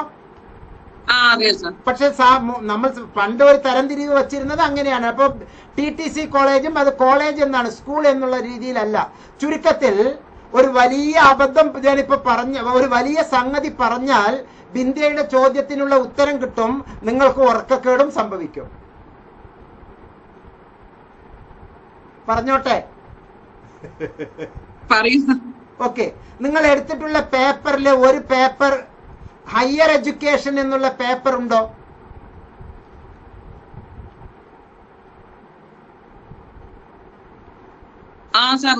ഉണ്ട്. രക്ഷപ്പെട്ടു ഉറങ്ങിക്കോളൂ. അതേ നേരം secondary education higher senior secondary education distance education എന്ന് പറയുന്ന ഒരു പേപ്പറാണ് ഉള്ളത് എങ്കിൽ നിങ്ങൾക്ക് ഉറക്കക്കേട് സംഭവിക്കും. പക്ഷെ മുബാറക്ക് മാഷെടുത്ത് വന്നാൽ ആയിരം രൂപ കൊണ്ട് അതിന് പരിഹാരം ഉണ്ടാവും ആയിരം രൂപ എനിക്കല്ലട്ടോ. യൂണിവേഴ്സിറ്റിക്ക് കോഴ്സ് ചേഞ്ച് ചെയ്യാനുള്ള ഫീസ് കൊടുക്കണം. അത് ഞാൻ പറഞ്ഞു തരും. അതിന് പറഞ്ഞു തരുന്നത് എങ്ങനെയാണ്? നിങ്ങൾ എം നോട്ട്സിലൂടെ അഡ്മിഷൻ എടുത്തിട്ട് നമ്മൾ ഒരു മെമ്പർ ആയിട്ടുണ്ടെങ്കിൽ ഈ കോഴ്സ് കഴിയുന്നതുവരെ നേരത്തെ ഷിത ചോദിച്ചില്ലേ? സാർ എന്താണ് നമുക്ക് ഇതിലുകൊണ്ടുള്ള പ്രയോജനം എന്ന്? കോഴ്സ് കഴിയുന്നത് വരെ ഇത്തരത്തിലുള്ള അഡ്മിനിസ്ട്രേറ്റീവ് സപ്പോർട്ട് കിട്ടിക്കൊണ്ടേയിരിക്കും. എങ്ങാനും പേപ്പർ തെറ്റിയിട്ടുണ്ടെങ്കിൽ സ്വാഹ പ്രശ്നമായി. അപ്പൊ ബിന്ദിയ കാര്യം മനസ്സിലായല്ലോ? അതായത് നമ്മൾ finance management human resource H R അത് അത് അങ്ങനെയുള്ള കുറെ പേപ്പേഴ്സിനെ പറ്റി നമ്മൾ പറയാറുണ്ടല്ലോ. എന്തൊക്കെ പേപ്പേഴ്സ് ആണ് എന്നുള്ളത് ഫിനാൻസ് ആണോ? എന്തൊക്കെ പേപ്പർ കൊമേഴ്സിൽ പറയാറുള്ളത്? ഒന്ന് പറയൂ. പിന്നെ financial accounting cost accounting analysis of financial statement അല്ലേ? ഇങ്ങനെയുള്ള കുറെ പേപ്പറിൽ നമ്മൾ ഏത് പേപ്പർ എന്നുള്ളതാണ് ചോദ്യം. അത് ഏത് വേണമെന്ന് ബിന്ദ്യ തീരുമാനിക്കുന്നോ അതെടുക്കാനുള്ള അവകാശം ഇഗ്നോ ബിന്ദ്യക്ക് തരും. മുബാർക്ക് സ്വാഭാവികമായിട്ടും നിങ്ങൾക്ക് ഏറ്റവും കൂടുതൽ കുട്ടികളുള്ള ഗ്രൂപ്പിൽ ഏറ്റവും കൂടുതൽ ഉള്ളത് എടുത്തു തരും. ഓക്കെ? ഹ്യൂമാനിറ്റീസ് കുട്ടി ഒരു സയൻസ് വിഷയം ഒരു പേപ്പർ എടുത്താൽ അവന്റെ കാര്യം പോക്കായില്ലേ? ഓർഗാനിക് കെമിസ്ട്രി അടക്കമുണ്ട്. സംസ്കൃതം പേപ്പറുണ്ട് ഫ്രഞ്ച് പേപ്പറുണ്ട് ജർമ്മൻ പേപ്പറുണ്ട് കൊറിയൻ പേപ്പറുണ്ട് അതൊക്കെ ഒരു പേപ്പറായിട്ട് എടുത്തവരുണ്ട്. എന്നിട്ട് അവസാനം സാറേ അത് ഒഴിക്കൊന്ന് ഒഴിവാക്കി തരൂ. അവസാനം എന്താ ചെയ്യുന്നത് അവർ ആ പ്രോഗ്രാം തന്നെ ഒഴിവാക്കിയിട്ട് വേറെ ഒരു പ്രോഗ്രാം എടുക്കുകയാണ്. അപ്പോ അതിന്റെതായിട്ടുള്ള ഒരു രീതിയിൽ കൃത്യമായി എഡ്യൂക്കേഷണലിസ്റ്റുകളോട് ചോദിച്ച് കാര്യങ്ങൾ ചെയ്യുക. എല്ലാ അക്ഷയക്കാരോ അല്ലെങ്കിൽ സഫയക്കാരോ അവർ പരമാവധി വല്ല ഈ നമ്മുടെ റേഷൻ കാർഡിന്റെയും ആധാർ കാർഡിന്റെയും മറ്റുള്ള കാർഡുകളുടെ ഒക്കെ കാര്യങ്ങൾ ചെയ്തുകൊണ്ടിരിക്കട്ടെ. എഡ്യൂക്കേഷനിലെ മൊത്തം കാര്യങ്ങൾ അവർക്ക് അങ്ങോട്ട് കുത്തകയായിട്ട് കൊടുക്കണ്ട. ഓരോന്നിനും അതിന്റെതായിട്ടുള്ള എക്സ്പേർട്ടുകൾ ഉണ്ട്. ആ സ്പെഷ്യലൈസേഷൻസ് എടുത്തിട്ടുള്ളവർക്കാണ് അത് ചെയ്യേണ്ടത്. കൗൺസിലിംഗ് എന്നുള്ളതിൽ ഏറ്റവും പ്രധാനപ്പെട്ടതാണ് കരിയർ ഗൈഡൻസ് കൗൺസിലിംഗ് എന്ന് പറയുന്നത്. എഡ്യൂക്കേഷണൽ കൗൺസിലിംഗ് എന്ന് പറയുന്നത്. ആ എഡ്യൂക്കേഷണൽ കൗൺസിലിംഗ് ഇൻഡിവിജ്വൽ കൗൺസിലിംഗിനും ഫാമിലി കൗൺസിലിംഗിന്റെയും അടിത്തറയാണ്. ഓക്കെ ഓക്കെ അടുത്ത ചോദ്യം. അടുത്ത ചോദ്യം. പറഞ്ഞോളൂ. എന്റെ പേര് അർച്ചന ആ പറഞ്ഞോളൂ കേൾക്കുന്നുണ്ട്. രണ്ടായിരത്തി ഇരുപത്തി മൂന്ന് ജനുവരി പറയാമോ? ബി എ ഇംഗ്ലീഷ് ഓണറാണ് ഏത് കൊല്ലം? രണ്ടായിരത്തി ഇരുപത്തി മൂന്ന് ജനുവരി എന്താണ് അറിയേണ്ടത്? ആ അസൈൻമെന്റ് ക്വസ്റ്റ്യൻസ് എടുക്കേണ്ടത് കാര്യങ്ങളെ. അതിനെ എല്ലാവരും നിർബന്ധമായും ശ്രദ്ധിക്കുക. അസൈൻമെന്റ് ക്വസ്റ്റ്യൻ എടുക്കേണ്ട ലിങ്ക് ഇന്ന് അല്ലെങ്കിൽ നാളെ ഞാൻ കൃത്യമായിട്ട് ടെലഗ്രാം ചാനലിൽ തന്നിരിക്കും. ഓക്കെ സർ നാല് കാര്യങ്ങൾ ഞാൻ തന്നിരിക്കും. എഴുതിയെടുത്തോളൂ. How can download assignment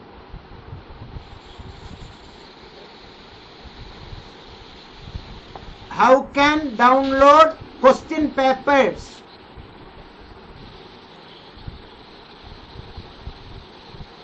How can download program guide? How can download project manual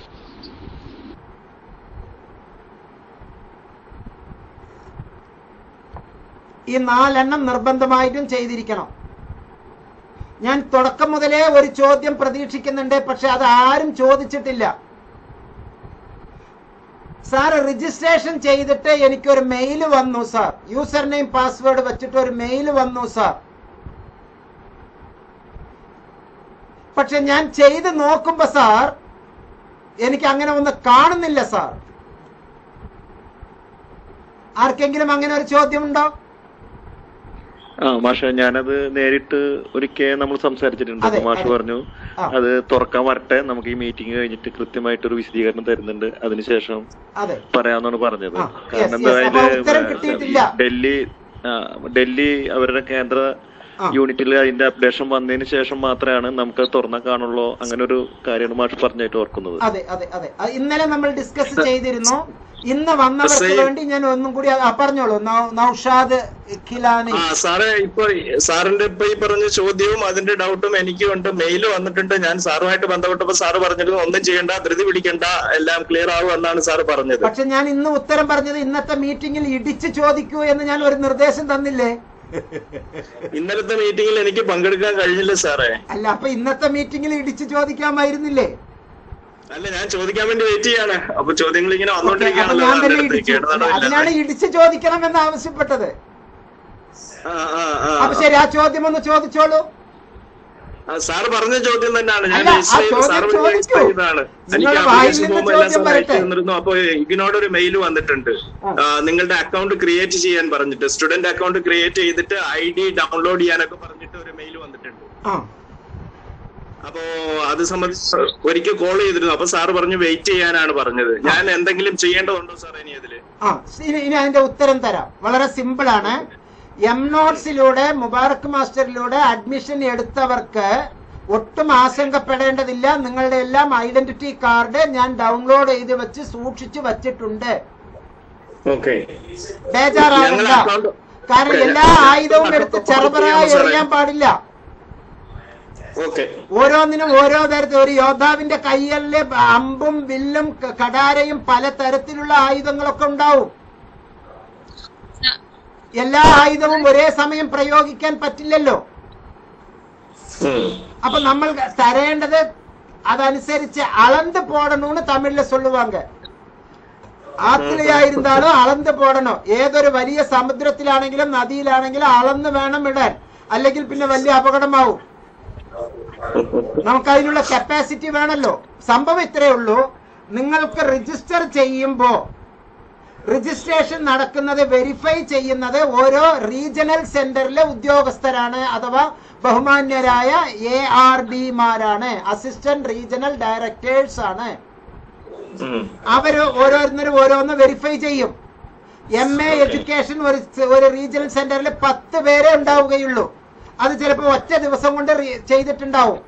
പക്ഷേ പക്ഷേ കേരളവർമ്മ കോളേജിലെ എം എ ഇംഗ്ലീഷ് മാത്രം ആയിരം കുട്ടികളായിരിക്കും. അത് നോക്കുന്നത് ഒരു ഉദ്യോഗസ്ഥൻ കൊച്ചിയിലുള്ള ഉദ്യോഗസ്ഥൻ ഒരു ദിവസം വന്നാൽ പരമാവധി അറുപതെണ്ണമേ നോക്കാൻ പറ്റൂ. പോട്ടെ അദ്ദേഹം നൂറെണ്ണം നോക്കുന്നു. ആ നൂറെണ്ണം നോക്കുമ്പോ ആയിരം എണ്ണം ഒരു സ്റ്റഡി സെന്ററിന് ആയിരം എണ്ണം എന്ന് പറഞ്ഞാൽ എത്രയായി? അയ്യാ അങ്ങേർക്ക് പത്ത് ദിവസം. അങ്ങനെ പന്ത്രണ്ട് സ്റ്റഡി സെന്ററിൽ എം എ ഇംഗ്ലീഷ് ഉണ്ട്. ഏകദേശം ഒരു ആറായിരം എണ്ണായിരം എങ്കിലും ഈ പറഞ്ഞ എം എ ഇംഗ്ലീഷ് അയാൾ നോക്കേണ്ടി വരും. എ ആർ ഡി നോക്കണം. അപ്പൊ സ്വാഭാവികമായിട്ട് ഒരു മാസത്തോളം സമയമെടുക്കും. അഡ്മിഷൻ കഴിഞ്ഞിട്ട് ഒരു മാസത്തോളം. അങ്ങനെ ഏറ്റവും കൂടുതൽ ഉള്ളത് കേരളത്തിലാണ്. കുട്ടികളെല്ലാം ഏറ്റവും കൂടുതൽ പഠിക്കുന്നത് ഇഗ്നോ സ്വീകാര്യമായിരിക്കുന്നത് കേരളത്തിലാണ് ഇപ്പോൾ. ഇപ്പോൾ നമുക്ക് റാങ്കുകൾ വാരിക്കൂട്ടുന്നതും നമ്മളാണ് കേട്ടോ. കേരളത്തിൽ തന്നെയാണ് റാങ്കുകൾ വാരിക്കൂട്ടുന്നത്. നമ്മളുടെ ഈ ഗ്രൂപ്പ് ഈ ഗ്രൂപ്പിൽപ്പെട്ടവർ തന്നെ കഴിഞ്ഞ പ്രാവശ്യം മൂന്ന് റാങ്ക് നമുക്ക് കിട്ടിയിട്ടുണ്ട്. അതൊക്കെ ഇപ്പൊ തന്നെ പറഞ്ഞ് നിങ്ങളെ മുഷിപ്പിക്കണ്ട എന്ന് പറഞ്ഞിട്ടാണ് പറയാതിരിക്കുന്നത്. ഓക്കെ അപ്പോ എല്ലാം ഓരോ റീജിയണൽ സെന്ററിൽ ഉള്ളതും വെരിഫൈ ചെയ്ത് വെരിഫൈ ചെയ്ത് വെരിഫൈ ചെയ്ത് ഡാറ്റകൾ ഇങ്ങനെ അയച്ചു കൊടുക്കും. അപ്പൊ അയച്ചു കൊടുക്കുന്ന ഡാറ്റകൾ ലക്ഷക്കണക്കിലെ ഡാറ്റകളാണ് രണ്ടര ലക്ഷം മൂന്ന് ലക്ഷം കുട്ടികളാണ് ഒരു സെഷനിൽ ആ രണ്ടര ലക്ഷം മൂന്ന് ലക്ഷം കുട്ടികളുടെ എല്ലാം കൂടി ഒന്നിച്ച് ഹെഡ് ക്വാർട്ടേഴ്സ് ഷഫിൾ ചെയ്ത് വലിയതാക്കി മാറ്റുന്നത് ഒറ്റ യൂണിറ്റ് ആക്കി മാറ്റുന്നത്. ഇത് കഴിഞ്ഞ ഉടനെ ഈ സെഷൻ കഴിഞ്ഞ് സെഷൻ കഴിയുന്നത് നവംബറിൽ നവംബറിൽ കഴിഞ്ഞ ഉടനെ എല്ലാം കൂടി ഷഫിൾ ചെയ്യുമ്പോൾ ഉടനെ തന്നെ ഈ സാധനം വരും. ഈ സാധനം വരുന്നതിന് മുമ്പ് ഉടനെ തന്നെ പരീക്ഷയ്ക്ക് വേണ്ടിയിട്ടുള്ള നോട്ടിഫിക്കേഷൻ വരും. ഞാൻ പറഞ്ഞല്ലോ മൂന്ന് മാസം മുമ്പ് നോട്ടിഫിക്കേഷൻ വരും എന്ന് പറഞ്ഞല്ലോ. അപ്പൊ പരീക്ഷയ്ക്ക് മുമ്പ് നോട്ടിഫിക്കേഷൻ വരും. ആ നോട്ടിഫിക്കേഷൻ വരുമ്പോ നമ്മൾ പരീക്ഷയ്ക്ക് അപേക്ഷിക്കണം. പരീക്ഷയ്ക്ക് അപേക്ഷിക്കുമ്പോൾ നിർബന്ധമായും നമുക്ക് അറിഞ്ഞിരിക്കേണ്ടത് എൻറോൾമെന്റ് നമ്പർ അത് ഇന്നലെ ഞാൻ പറഞ്ഞു തന്നു എൻറോൾമെന്റ് നമ്പർ അറിയണം. കൺട്രോൾ നമ്പർ ഏതാണെന്ന് അറിയണം. റീജിയണൽ കോഡ് എന്താണ് എന്ന് അറിയണം റീജിയണൽ അഡ്രസ് റീജിയണൽ സെന്ററിന്റെ അഡ്രസ് അറിയണം. അവിടുത്തെ മൊബൈൽ നമ്പർ അറിഞ്ഞിരിക്കണം. അവിടുത്തെ ഇമെയിൽ ഐ ഡി അറിഞ്ഞിരിക്കണം. ഇതെല്ലാം നമ്മൾ അറിഞ്ഞിരിക്കണം അറിഞ്ഞിരിക്കണം അറിഞ്ഞിരിക്കണം. അപ്പൊ അക്കൂട്ടത്തിൽ ഈ കാര്യങ്ങൾ ഭംഗിയായിട്ട് വരും. അപ്പൊ പരീക്ഷയ്ക്ക് പോകുന്ന സമയത്ത് മാത്രമേ ഐഡന്റിറ്റി കാർഡ് നിങ്ങൾക്ക് ആവശ്യമുള്ളൂ. ഇപ്പൊ തന്നെ നൌഷാദ് ഖിലാനിയുടെ ഡാറ്റ ഇങ്ങനെ കൂടാൻ വേണ്ടി ഞാൻ ഐഡന്റിറ്റി കാർഡ് അയച്ചു തരേണ്ടതുണ്ടോ? പക്ഷെ നിങ്ങൾക്ക് എൻറോൾമെന്റ് നമ്പർ വന്നിട്ടുണ്ട്. എങ്ങനെയെന്നറിയാമോ ഗ്രീറ്റിംഗ്സ് ഫ്രം ഇഗ്നോ താങ്കളെ വിഗ്രഹയിലേക്ക് സ്വാഗതം ചെയ്യുന്നു. താങ്കളുടെ പേര് താങ്കളുടെ എൻറോൾമെന്റ് നമ്പർ ഇന്നത് ഇന്നത് ഇന്നത് ഇന്നത് ഇന്നത്. ആപ്പ് ഡൗൺലോഡ് ചെയ്യൂ സാർ എനിക്ക് ഫോം അയച്ചു തന്നിട്ടുണ്ട്. ഓൾറെഡി അത് രജിസ്റ്റേർഡ് ആയിട്ടുള്ള അതിന്റെ രജിസ്ട്രേഷൻ നമ്പറും കാര്യങ്ങളും ഒക്കെ വെച്ചിട്ടുള്ള ഫോട്ടോ ഉള്ള ഫോം സാർ അയച്ചു തന്നിട്ടുണ്ട് എനിക്ക്. പക്ഷേ ഇനി നിങ്ങൾ അതിൽ ഒന്നും ഇപ്പൊ ചെയ്യരുത്. കാരണം നിങ്ങൾക്ക് ഷോക്ക് കിട്ടും. എന്താണ് അതിൽ കാണുക? You are not registered you are not registered എന്ന് അതിൽ കാണും. കാരണം ഹെഡ് ക്വാർട്ടേഴ്സിന്റെ ഡാറ്റ ഇല്ല. അതെ അതെ അതെ. സാറേ ഒരു ഡൗട്ട് എനിക്ക് ചോദിച്ചോട്ടെ? ഏതെങ്കിലും ഘട്ടങ്ങളിൽ എക്സാമിനോ പ്രാക്ടിക്കലിനോ എന്തിനെങ്കിലും ബാംഗ്ലൂരോ മാംഗ്ലൂരോ ഞാൻ പോകേണ്ടി വരുമോ ഓ ചിലപ്പോ പോകേണ്ടി വരികയാണെങ്കിൽ ബേജാറാകണ്ട മുബാറക് മാഷ് ജീവിച്ചിരിപ്പുണ്ടെങ്കിൽ സഹായിക്കാം. അപ്പൊ പോകേണ്ടി വരുമെന്നാണ് സാർ ഉദ്ദേശിക്കുന്നത്? അപ്പൊ ചിലപ്പോ വേണ്ടി വരികയാണെങ്കിലോ? ഏതാ program yoga sir certificate course അല്ല അത് മാംഗ്ലൂരിലാണ് സ്റ്റഡി സെന്റർ അതെ സ്റ്റഡി സെന്റർ വിദേശത്ത്? സെന്റർ റീജിയണൽ സെന്റർ നൌഷാദ് നിന്നാണ് നിർബന്ധമായിട്ടും പോകേണ്ടി വരും അല്ലെ സാറേ? നൌഷാദ് വിദേശത്തു നിന്നാണ് വിളിക്കുന്നത്. അല്ല സാറേ ഇല്ല, ഇവിടെ നിന്നാണ് ഹോംലാൻഡ് ആണ് കൊട്ടാരക്കര. കൊട്ടാരക്കര എത്തിയോ? കൊട്ടാര നേരത്തെ കൊട്ടാരക്കരയാണ്. ഞാൻ ചിലപ്പോ ഒരു പതിനഞ്ച് ഇരുപത് ദിവസം കഴിയുമ്പോഴേക്ക് വിദേശത്തേക്ക് പോകാൻ സാധ്യത എപ്പോഴാണ് വരിക? പോയിട്ട് അടുത്ത ഒരു അക്കാദമിക് സെക്ഷൻ ജൂലൈ ജൂൺ ജൂലൈയിലായിരിക്കും തിരിച്ചു വരിക സാറേ. ഒരു പ്രിയപ്പെട്ട ശിഷ്യനോട് അധികാരത്തോടു കൂടി അവകാശത്തോടു കൂടി ഒരു അധ്യാപകന് ചില കാര്യങ്ങൾ ചോദിക്കാവോ? എനിക്കൊരു ജന്നത്തുൽ ഫിർദൌസ് കൊണ്ടുവരണം. തീർച്ചയായിട്ടും തീർച്ചയായിട്ടും. അത് എന്റെ ഉപ്പാന്റെ ഓർമ്മയ്ക്കുള്ളതാ ജന്നത്തുൽ ഫിർദൌസ്. തീർച്ചയായിട്ടും. ഞാനവിടെ മദീനല്ലേ സാറേ? മദീന മദീന അതുകൊണ്ടാണ് അതുകൊണ്ടാണ് ഞാൻ അത് ചോദിക്കുന്നത്. അത് എനിക്ക് അതിനുള്ള അവകാശം എനിക്കില്ലേ? ഓ തീർച്ചയായിട്ടും തീർച്ചയായിട്ടും. അലഹമില്ല ശരി താങ്ക് യു താങ്ക് യു അടുത്ത ഒരാൾ അടുത്ത ഒരാൾ. ഹലോ സർ ആ പറഞ്ഞോളൂ മുഫീദ. സർ എന്റെ സ്റ്റഡി സെന്റർ കോഡ് കാണുന്നത് പതിനാല് പൂജ്യം രണ്ടായിരുന്നു ഈ ഫോമിൽ ആ. അത് സർ പിന്നെ കൊച്ചിയിലുള്ള കോളേജ് അല്ലേ? അല്ല അത് നല്ല ഒന്നാം തരം ചോദ്യമാണ് കേട്ടോ ഈ പറഞ്ഞത്. സൂപ്പർ ക്വസ്റ്റ്യൻ ആണ്. ആരും ചിന്തിക്കാത്ത ഒരു ക്വസ്റ്റ്യൻ ആണ്. അതിന്റെ ഉള്ളറ എന്താണെന്ന് എനിക്ക് ഞാൻ മനസ്സിലാക്കുന്നു. ഇയാളുടെ റീജിയണൽ സെന്റർ ഏതാ? Kochi. Regional centre regional centre കൊച്ചിയാണ്. ഇയാൾ ഏതാ കോഴ്സ് ചെയ്യുന്നത് M S C maths M S C maths ആ കൊച്ചിയിൽ തന്നെയാണ്. പതിനാല് പൂജ്യം രണ്ട് ഏതാണ് സ്റ്റഡി സെന്റർ? സ്റ്റഡി സെന്റർ ആണ് സർ പതിനാല് പൂജ്യം രണ്ട് കാണുന്നത്. റീജിയണൽ സെന്റർ പതിനാല് പൂജ്യം രണ്ടിന്റെ വിശദീകരണം ഏതാണ്? Sacred head college heart college Ernakulam. Malappuram ജില്ലയിലേക്ക് മാറ്റാൻ പറ്റുമോ എന്നാണ്. എന്തിനാണ് അങ്ങനെ മാറ്റുന്നത്? അല്ല എക്സാം സെന്റർ അല്ലേ? അപ്പോ എക്സാം അല്ലേ ഇയാൾക്ക് ബുദ്ധിമുട്ടാണ്. ആ അത് ഇയാളുടെ വീടിന്റെ അടുത്ത് ഞാൻ ആക്കി തരാം. ബേജാറാകണ്ട. ഓക്കെ അത് നേരത്തെ നമ്മൾ എല്ലാവർക്കും ഓഫർ തന്നിട്ടുണ്ടല്ലോ. എക്സാം സെന്റർ തൊട്ടടുത്താക്കി തരാം. ഇനി വളരെ ഇമ്പോർട്ടന്റ് ആയിട്ട് പറയാം. തിരുവനന്തപുരംകാർ ഇതിലൊന്ന് എസ് എസ് എസ് എന്നൊന്ന് ടൈപ്പ് ചെയ്യോ? തിരുവനന്തപുരം തിരുവനന്തപുരംകാര് ഇവിടെ തിരുവനന്തപുരം റീജിയനിലെ കീഴിലുള്ളവർ എസ് എസ് എസ് എന്ന് തിരുവനന്തപുരം റീജിയൻ നൌഷാദ് ബാംഗ്ലൂർ റീജിയൻ ആണ് കേട്ടോ. തിരുവനന്തപുരം റീജിയനിലെ സ്റ്റഡി സെന്റർ കിട്ടിയവർ എസ് എസ് എസ് എന്ന് ടൈപ്പ് ചെയ്യോ. എസ് അരുൺ ഗോവിന്ദ്. ഓക്കെ നിങ്ങളിലെ മാർ ഇവാനിയസ് കോളേജിന്റെ തുടക്കത്തിൽ പതിനാല് എന്നായിരിക്കും കോഡ് ഓക്കെ ഇനി P S M O college ഉള്ളത് ജെ ഡി ടി ഉള്ളവരൊക്കെ ഒന്ന് എസ് എസ് എസ് എന്ന് ടൈപ്പ് ചെയ്യൂ. പി എസ് എം ഒയും ജെ ഡി ടിയും അവരൊന്ന് എസ് ടൈപ്പ് ചെയ്യൂ.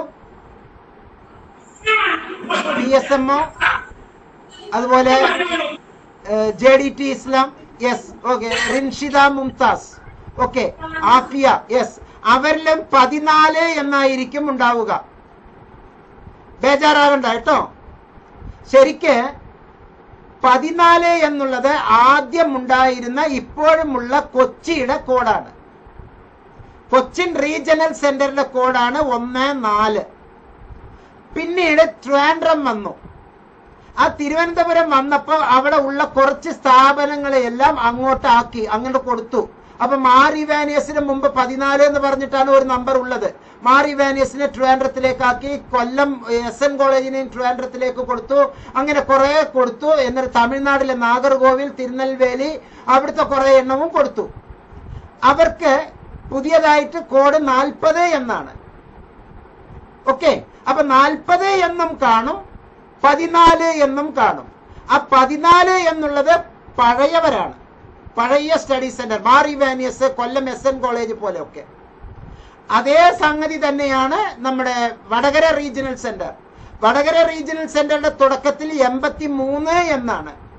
പക്ഷെ അവർക്ക് തുടക്കത്തിൽ ജെ ഡി ടി ഇസ്ലാം കൊടുത്തിട്ടുണ്ട് പതിനാല് പൂജ്യം ഒമ്പത് നമ്മുടെ P S M O college Tirurangadi കൊടുത്തിട്ടുണ്ട്. അപ്പൊ അവരുടെ എൺപത്തി മൂന്ന് റീജിയണൽ സെന്ററിലാണെങ്കിലും പതിനാല് എന്നുള്ള പേരിൽ ഇപ്പോഴും സ്റ്റഡി സെന്റർ അവരുടെ കീഴിലുണ്ട്. അപ്പൊ എന്തുകൊണ്ടാണ് ഈ പതിനാല് എന്തുകൊണ്ടാണ് എൺപത്തി മൂന്ന് എന്തുകൊണ്ടാണ് നാൽപ്പത്തി ആറ് എന്തുകൊണ്ടാണ് നാൽപ്പത് എന്തുകൊണ്ടാണ് പതിനാല്? കൊച്ചിയിൽ എല്ലാവർക്കും പതിനാല് തന്നെയാണ്. ഇനി ആർക്കെങ്കിലും അക്കാര്യത്തിൽ ഉണ്ടോ?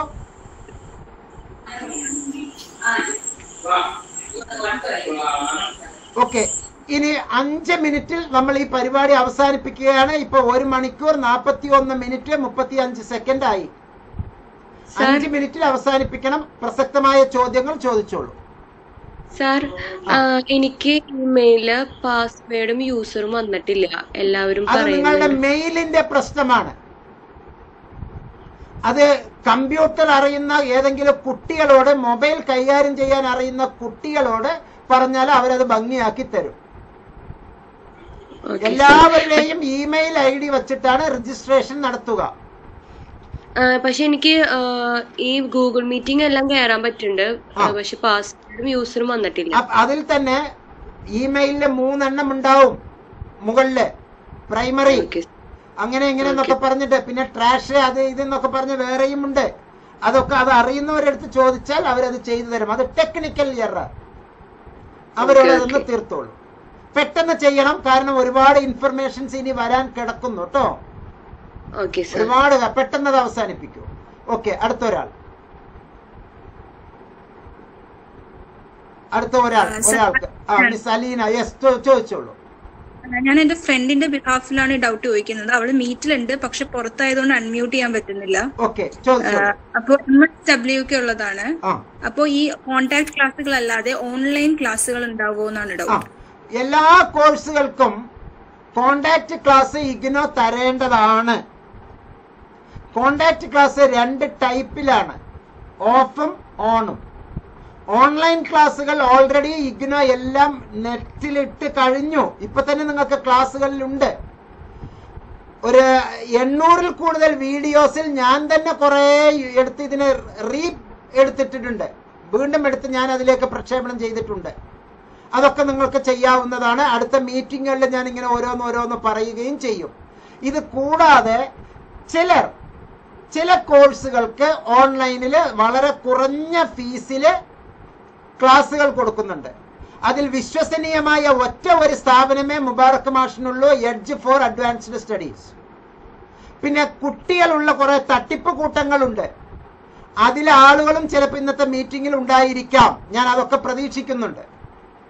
എല്ലാവർക്കും ഞാൻ ഇതിന്റെ അകത്തേക്ക് സ്വാഗതം കൊടുക്കുന്നുണ്ട്. ആരെയും വരണ്ട എന്നൊന്നും ഞാൻ പറയാറില്ല. എല്ലാവരും ഇതിന്റെ അകത്തേക്ക് വന്നോളൂ എന്ന് തന്നെയാണ് പറയാറ്. ആരുടെ പിന്നിലും ഞാൻ മൈക്രോസ്കോപ്പ് ഒന്നും വയ്ക്കാറില്ല.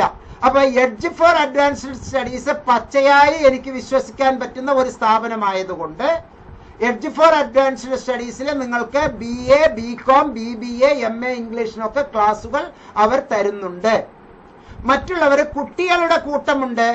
അവർ വേറെ പല തരത്തിലുള്ള ചതിക്കൂട്ടങ്ങളുണ്ട്. പിന്നെ കുറെ വേറെ കുറെ സംഗതികളുണ്ട്. അതൊന്നും പബ്ലിക് പ്ലാറ്റ്ഫോമിൽ എനിക്ക് വ്യക്തമാക്കാൻ കഴിയില്ല. ഓക്കെ അപ്പൊ വീണ്ടും ഓർക്കുക ഏത് സന്ദർഭത്തിലും നിങ്ങളുടെ സംഗതികൾ ചോർത്തപ്പെടാം. ഈ ചോദ്യം വളരെ നല്ലതായി അലീന. ഏത് സന്ദർഭത്തിലും നിങ്ങളുടെ ഡാറ്റകൾ ചോർത്തപ്പെടാം. Not from Mubarak master's side that well locked എന്റെ വീട്ടിലുള്ളത് നാല് എഞ്ചിനീയേഴ്സ് ആണ്. അവരുടെയൊക്കെ സേവനത്തിൽ എന്റെ ഡാറ്റ നിങ്ങൾ തന്ന ഡാറ്റകളെല്ലാം പക്ക സേഫാണ്. ഒരു സംശയം അക്കാര്യത്തിൽ വേണ്ട. ഓക്കെ? ഒരു കുട്ടി ഒരാളുടെ നമ്പർ ചോദിച്ചാൽ പോലും ഞാൻ ആരുടെയും നമ്പർ കൊടുക്കില്ല.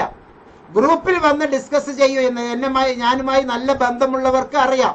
ഇപ്പൊ ഞാൻ മിസ്റ്റർ പ്രദീപ് കുമാറുമായിട്ട് ഒരുപാട് ഞങ്ങൾ സംസാരിക്കാറുണ്ട്.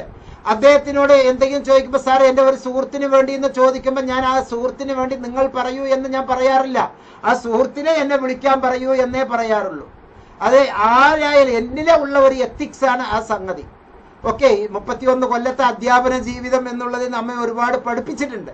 ഓക്കെ അപ്പൊ സംഭവം അങ്ങനെ ചെയ്യുകയുള്ളൂ. പക്ഷേ നിങ്ങളുടെ ഡാറ്റ എങ്ങനെയെങ്കിലും ചോർത്തിയിട്ട് ഇഗ്നോ ഡാഷ് ഇഗ്നോ ഡൂഷ് ഇഗ്നോ ആഷ് എന്ന് പറഞ്ഞിട്ട് എന്ത് ആരെങ്കിലുമൊക്കെ എന്തെങ്കിലുമൊക്കെ നിങ്ങളുടെ അടുത്തേക്ക് വരാം.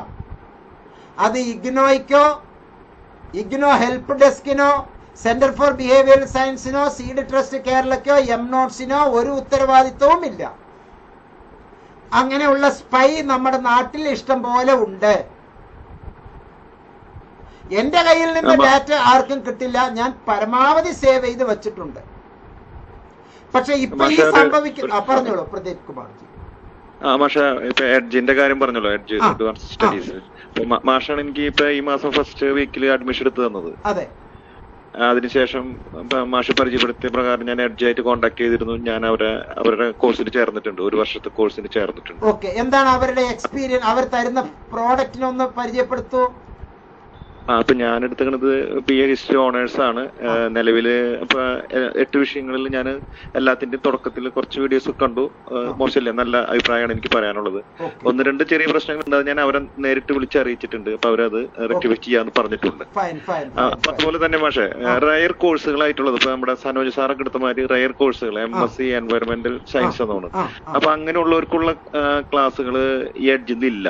അപ്പൊ അത് നമുക്കൊന്ന് പ്രൊവൈഡ് ചെയ്യാനായിട്ട് എന്തെങ്കിലും വേറെ എന്തെങ്കിലും ഒരു മാർഗം ഉണ്ടെങ്കിൽ നന്നായിരിക്കും എന്ന് സനോജ് സാർ നേരിട്ട് കണ്ടപ്പോൾ പറഞ്ഞിരുന്നു. തീർച്ചയായും. അത് നമുക്ക് ഞാൻ അങ്ങനെയുള്ള ഒഫീഷ്യൽസുമായിട്ട് എനിക്ക് സത്യത്തിൽ കേരളത്തിന്റെയും തമിഴ്നാടിന്റെയും അതുപോലെ ഡൽഹിയിലെയും ഇഗ്നോയിലെ യഥാർത്ഥ അക്കാഡമിക് കൗൺസിലേഴ്സുമായിട്ട് നല്ല ബോണ്ട് ഉണ്ട്. ഞാൻ ഡൽഹിയിലടക്കം ഇഗ്നോയിലെ പല മീറ്റിങ്ങുകളിൽ അത് പബ്ലിക്കായിട്ട് അങ്ങനെ പറയാൻ പറ്റില്ല. ഞാൻ പല മീറ്റിങ്ങുകളിലും പങ്കെടുത്തിട്ടുമുള്ളതാണ് പല പ്രോഗ്രാമുമായിട്ട് എനിക്ക് അസോസിയേറ്റഡ് ഉണ്ട്. ഓക്കെ എല്ലാം പോസിറ്റീവായിട്ട് നിയമപരമായിട്ട് ബൈ ലോ ബൈ റൂൾ അങ്ങനെയാണ്. അതുകൊണ്ട് തന്നെ അവിടുത്തെ കുറച്ച് കാര്യങ്ങൾ ഇവിടെയോ ഇവിടുത്തെ കുറച്ച് കാര്യങ്ങൾ അവിടെയോ എനിക്ക് ഷെയർ ചെയ്യാൻ ഞാൻ പറഞ്ഞില്ല നേരത്തെ പറഞ്ഞ ആ ഒരു എത്തിക്സ് അത് നന്നായി കീപ്പപ്പ് ചെയ്താലേ ഈ വണ്ടി നന്നായിട്ട് തുഴയാൻ പറ്റുകയുള്ളൂ. അല്ലെങ്കിൽ വഞ്ചി ഇപ്പോഴും തിരുനക്കര തന്നെ ഇരിക്കും. അത് അത് വരാൻ പാടില്ലല്ലോ. അപ്പോൾ ഞാൻ അത്തരത്തിലുള്ള ഒരു ഓർഗനൈസേഷൻസ് തരും. പക്ഷെ ഒരു കാര്യം എന്നിൽ നിന്ന് ഒരു അഷുറൻസ് നിങ്ങൾക്ക് ഈ വേദിയിൽ ഞാൻ തരാൻ പറ്റും. ഏറ്റവും നല്ല കൈത്താങ്ങ് നിയമപരമായി ബുദ്ധിപരമായി ഏറ്റവും വില കുറഞ്ഞ രൂപത്തിൽ എന്നാൽ മൂല്യം ഏറ്റവും കൂടുതലുള്ളത് തരാൻ വേണ്ടിയിട്ട് ഞങ്ങൾ പരിശ്രമിക്കും. അതിൽ ഒരു സംശയവുമില്ല. അതിൽ താങ്കളെയും ഞാൻ ഉൾപ്പെടുത്തുന്നുണ്ട്. അങ്ങനെയുള്ള കുറേ കൂട്ടം ഇതിന്റെ അകത്തുനിന്ന് കോ അഡ്മിന്മാരായി വരണം. അതാണ് ഇന്നലെ നമുക്ക് മിസ് ദീപിക മിസ് പറഞ്ഞു വച്ച സംഗതി. ഇപ്പൊ പ്രദീപ് കുമാർ സാറ് എന്റെ ഇതിൽ അറിയാണെങ്കിൽ നല്ല ഒന്നാം തരം ഗവൺമെന്റ് എംപ്ലോയി ആണ് നിങ്ങൾ പിക്ചറും മുഖമൊന്നും തരേണ്ടതില്ല. നിങ്ങൾക്ക് നല്ല ഈ ഹിസ്റ്ററിയുമായി ബന്ധപ്പെട്ടുള്ള ഒരു ക്ലാസ്സുകൾ സ്വയം എടുക്കാം. വേണമെങ്കിൽ അതിന്റെ ഡയറക്ടറേറ്റിൽ നിന്ന് നിങ്ങൾ പെർമിഷൻ വാങ്ങിക്കോളൂ. ഫോർ എഡ്യൂക്കേഷണൽ പർപ്പസ് ഞാൻ വീഡിയോ എടുക്കാൻ ഉദ്ദേശിക്കുന്നു. എനിക്ക് പെർമിഷൻ തരൂ. എന്ന് പറഞ്ഞിട്ട് പെർമിഷൻ ചോദിച്ചാൽ അവർ പെർമിഷൻ തരും.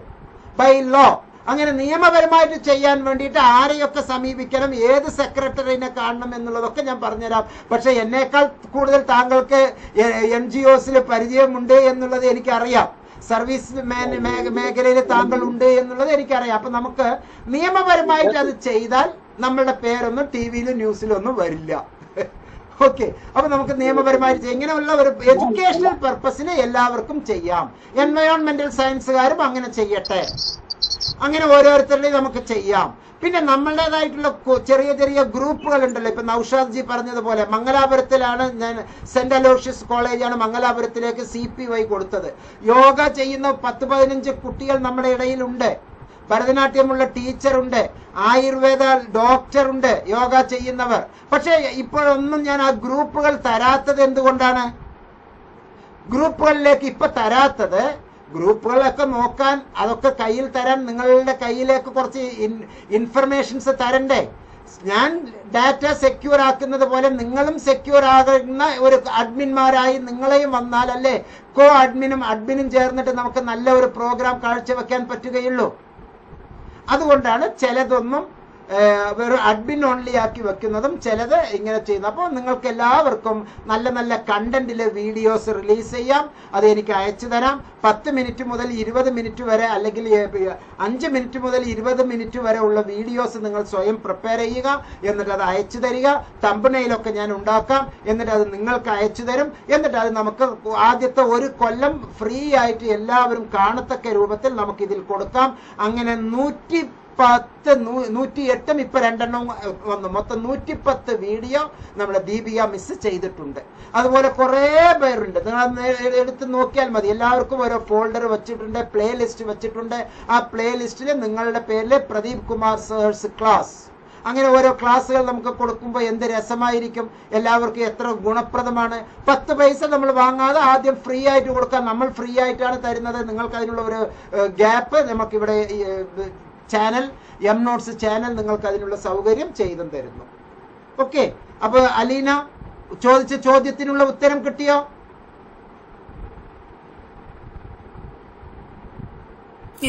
ഓക്കെ താങ്ക് യു അപ്പൊ നമുക്ക് നമ്മളുടെ ക്ലോസിംഗ് സെറമണിയിലേക്ക് പോകാം. ഇപ്പൊ സമയം ഒമ്പതരയിലേക്ക് ഇനി എട്ട് മിനിറ്റ് ആണുള്ളത്. പ്രിയപ്പെട്ടവരെ ഇന്ന് വളരെ ഗംഭീരമായി നമ്മൾ കുറേ സംഗതികൾ ഇത്ര നേരമായി ഡിസ്കസ് ചെയ്തു. നിങ്ങളുടെ വിലയേറിയ അഭിപ്രായങ്ങൾ. അതിനു മുമ്പ് എല്ലാവരും ഒന്ന് മ്യൂട്ട് ചെയ്തിട്ട് വീഡിയോയിൽ ഒന്ന് വരണം. ഒന്ന് മുഖം തരണം. എല്ലാവരും ഒന്ന് മുഖം തരണം. അതൊരു അതിന്റെ ഒരു ചടങ്ങാണ്. ആരൊക്കെ എന്റെ കുട്ടികളെ കാണാനുള്ള അധികാരം എനിക്കുണ്ടല്ലോ. Yes yes yes yes Sanoj sir നമസ്കാരം. നമസ്കാരം. Okay okay. യെസ് എല്ലാവരും ഒരു മിനിറ്റ്. യെസ് ഒരു മിനിറ്റ് എല്ലാവരും ഒന്ന് വരിക. എല്ലാവരും വീഡിയോയിൽ വന്നു എന്ന് ഞാൻ പറയുമ്പോൾ ഒന്ന് ഓഫ് ചെയ്താൽ മതി. Yes yes thank you Manju miss okay Sujatha M P വന്നിട്ടില്ല. Okay Afna okay okay Rinshitha Ashima okay Ruby Rasheed പൂച്ചയെ മാറ്റിയിട്ടില്ല. Okay Aleena Joy okay okay okay Habeebul Basheer ഷർട്ടൊക്കെ ഇടൂ. ഷർട്ടൊക്കെ ഇട്ടിട്ട് വാ പറയാ. Okay okay. Salina okay thank you Mufasira okay Aseema okay. Shansas Shafeeq K K. Biju Joy നമസ്കാരം ബിജു. കുറെ നമ്മൾ ഒരുപാട് നമ്മൾ ഡിസ്കസ് ചെയ്യാറുണ്ട്. Okay okay okay. അപ്പൊ ഓഫ് ചെയ്തു? Yes Maria Antony. Fine fine fine off ചെയ്തോളൂ. Thank you thank you thank you എനിക്ക് നിങ്ങൾ തരുന്ന രാജുഭായ് നിങ്ങൾ തരുന്ന സപ്പോർട്ട് വളരെ വലുതാണ്. എല്ലാവർക്കും ഒരുപാട് ഹൃദയം നിറഞ്ഞ നന്ദി അറിയിക്കുന്നു. ഇന്നത്തെ പ്രോഗ്രാമിനെ പറ്റി ഒരു രണ്ട് പേർ ഒന്ന് ഒരു ഇവാലുവേഷൻ നടത്താൻ ആദരപൂർവം ക്ഷണിക്കുകയാണ്.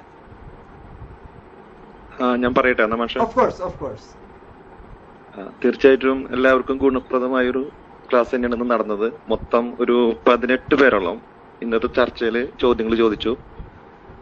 ഒന്ന് നിഖില മുതൽ അവസാന അലീന വരെ. വിവിധ വിഷയങ്ങളെ പറ്റി തന്നെയാണ് കാര്യക്ഷമ നല്ല കാര്യഗൗരവമുള്ള വിഷയങ്ങൾ തന്നെയാണ് ചോദിച്ചതും. കൃത്യമായിട്ടുള്ള മറുപടിയും സാറ് കൊടുത്തു. എല്ലാവരും സാറ്റിസ്ഫൈഡ് ആണെന്ന് കരുതുന്നു. തുടർന്നും ഇതുപോലുള്ള സംശയങ്ങൾ ചോദിക്കാനുള്ള ഒരു പ്ലാറ്റ്ഫോം ഉണ്ടാക്കണമെന്നും സാറിനോട് അഭ്യർത്ഥിക്കുന്നു. താങ്ക് യു താങ്ക് യു തീർച്ചയായും വേണ്ട എല്ലാ സപ്പോർട്ടും ഉണ്ടാകും. ഇനി ഒരാൾ ഇനി ഒരാൾ. യെസ് പറഞ്ഞോളൂ. താങ്ക് യു താങ്ക് യു ഇനി ഒരാളും കൂടി വന്ന് വന്ന് ഇവാലുവേഷൻ നടത്തണം. യെസ് സനോജ് സാർ ഹലോ ഞാൻ രാജു. ആ രാജു ഭായ് പറഞ്ഞോളൂ. ആ മാഷെ ആ.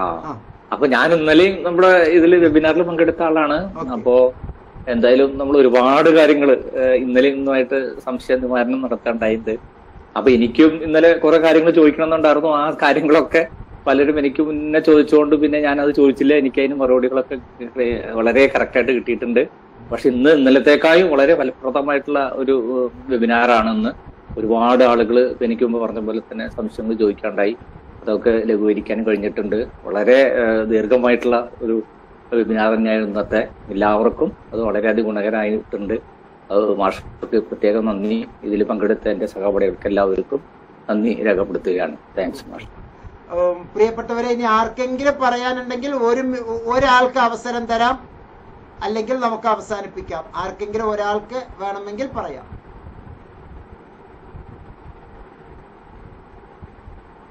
യെസ് ആരുമില്ല എന്ന് കരുതുന്നു? അതോ ഉണ്ടോ? അഞ്ച് സെക്കൻഡ് നാല് മൂന്ന് രണ്ട് ഒന്ന്. ആ ഓക്കെ മിസ് റൂബി ഓക്കെ എന്റെ പേര് റൂബി ഞാൻ M S C C F T student ആണ്. അപ്പൊ അപ്പോൾ ഈ ജൂലൈ ബാച്ചിലാണ് ജോയിൻ ചെയ്തത്.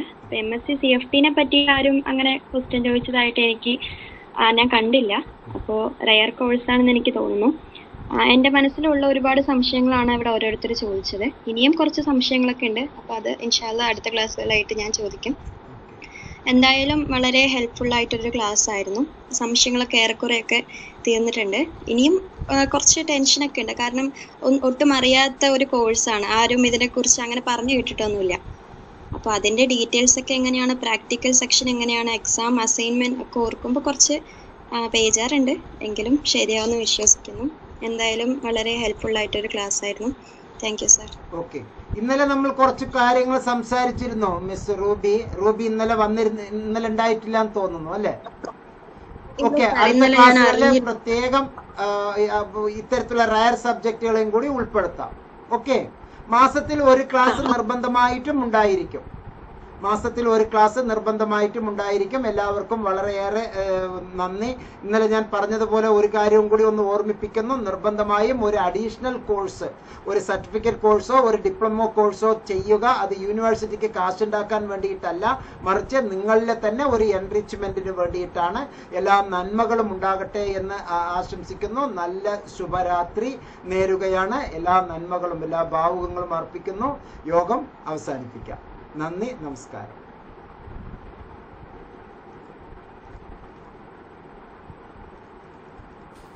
സാർ എനിക്കൊരു ചെറിയ ഡൗട്ട് ഉണ്ടായിരുന്നു. ചോദിച്ചോളൂ ചോദിച്ചോളൂ. സാർ ഇപ്പൊ പറഞ്ഞില്ലേ സർട്ടിഫിക്കറ്റ് കോഴ്സ് ചെയ്യുന്ന കാര്യം? അപ്പോ ഞാനിപ്പോ M S C C F T ആണ്. അപ്പൊ സെക്കൻഡ് ഇയർ ആവുമ്പോഴത്തേക്കും അങ്ങനെ ഒരു സർട്ടിഫിക്കറ്റ് കോഴ്സ് ചെയ്താൽ മതിയായിരിക്കും. മതി. നാല് മാസത്തിൽ സത്യത്തിൽ പിന്നീട് എന്ന് പറയുമ്പോൾ നിങ്ങൾക്ക് ചെയ്യാൻ സമയം ഉണ്ടാവില്ല കാരണം ഇതിന്റെ ഓരോ പ്രോജക്റ്റുകളുടെ പിന്നിലേക്കും ക്വസ്റ്റിനേഴ്സിന്റെ പിന്നിലേക്കും നമ്മൾ പോയി പോയി പോയി വരുമ്പോ റൂബി അലീന ഉണ്ട് കേട്ടോ കൂട്ടിന് ഓക്കെ. അലീന റൂബി നിങ്ങൾക്ക് രണ്ടുപേർ പെർമിഷൻ ഉണ്ട് എങ്കിൽ നിങ്ങൾ രണ്ടുപേരുടെയും നമ്പർ ഞാൻ പരസ്പരം അങ്ങോട്ട് തരാം. റൂബി റഷ് അലീന കാരണം M S C C F tick ഞാൻ നേരിട്ട് മേൽനോട്ടം വഹിക്കുന്നതായിരിക്കും. ഓക്കെ. എനിക്ക് എന്റെ അടുത്ത തലമുറയെ കിട്ടണ്ടേ? ഓക്കെ? അപ്പൊ അത് ഭംഗിയായിട്ട് ഞാൻ വേണ്ട ഹെൽപ്പ് ചെയ്തു തരാം. വളരെ ഭംഗിയായിട്ട് അടുത്ത മീറ്റിംഗിൽ നമുക്കത് ഡിസ്കസ് ചെയ്യാം. നമ്മൾ ഒരു മൂന്ന് മാസം കഴിഞ്ഞ ബുക്കുകൾ നമ്മുടെ കയ്യിൽ കിട്ടി തുടങ്ങിയാൽ പിന്നെ നിങ്ങൾ നിലത്തല്ല. ചന്ദ്രയാനും ഗഗൻയാനുമാണ് ഇഷ്ടംപോലെ ചെയ്യാനുണ്ട്. രണ്ട് കൊല്ലത്തിൽ പൂർത്തിയാകില്ല. മൂന്ന് കൊല്ലം നാല് കൊല്ലം ഒക്കെ വേണ്ടി വരും. അത്രയും tight ഷെഡ്യൂളാണ് M S C C F T പക്ഷെ നമ്മളത് ഗംഭീരമായിട്ട് ചെയ്യാം. ഓക്കെ ഓക്കെ ഓക്കെ പറയുന്നു okay okay okay all the best യോഗം അവസാനിപ്പിക്കാം. നന്ദി. നമസ്കാരം.